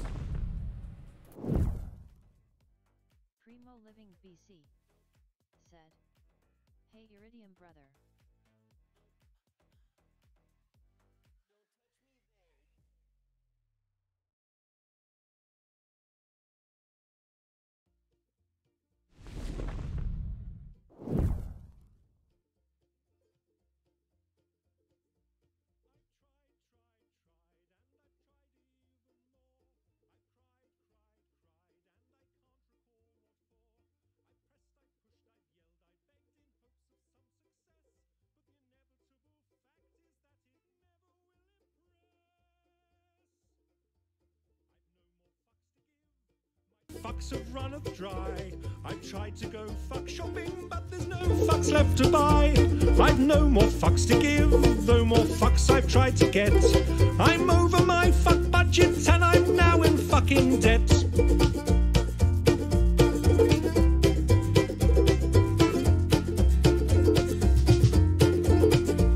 I strive, strive, strive to get everything done. I've played by all the rules, but I've very rarely won. I've smiled, I've charmed, I've wooed and laughed, alas, to no avail. I've run round like a moron to unequivocally fail. KS for you I've no more fucks to 728. My said, has just blown. World of Warcraft is PC, sir. Fucks all day, but they've upped and fucked off home.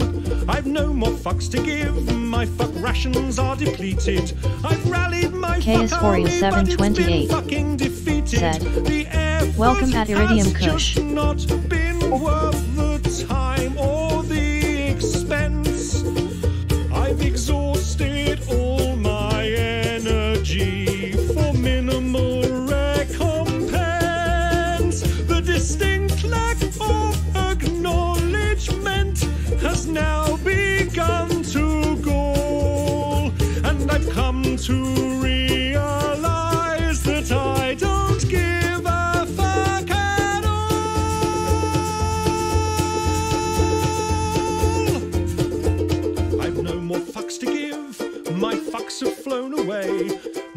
Are now so fucked off they've refused to fucking stay.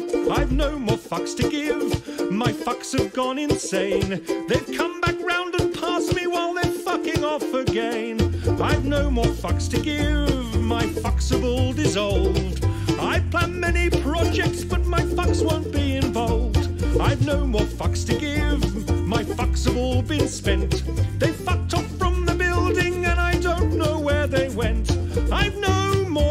to give.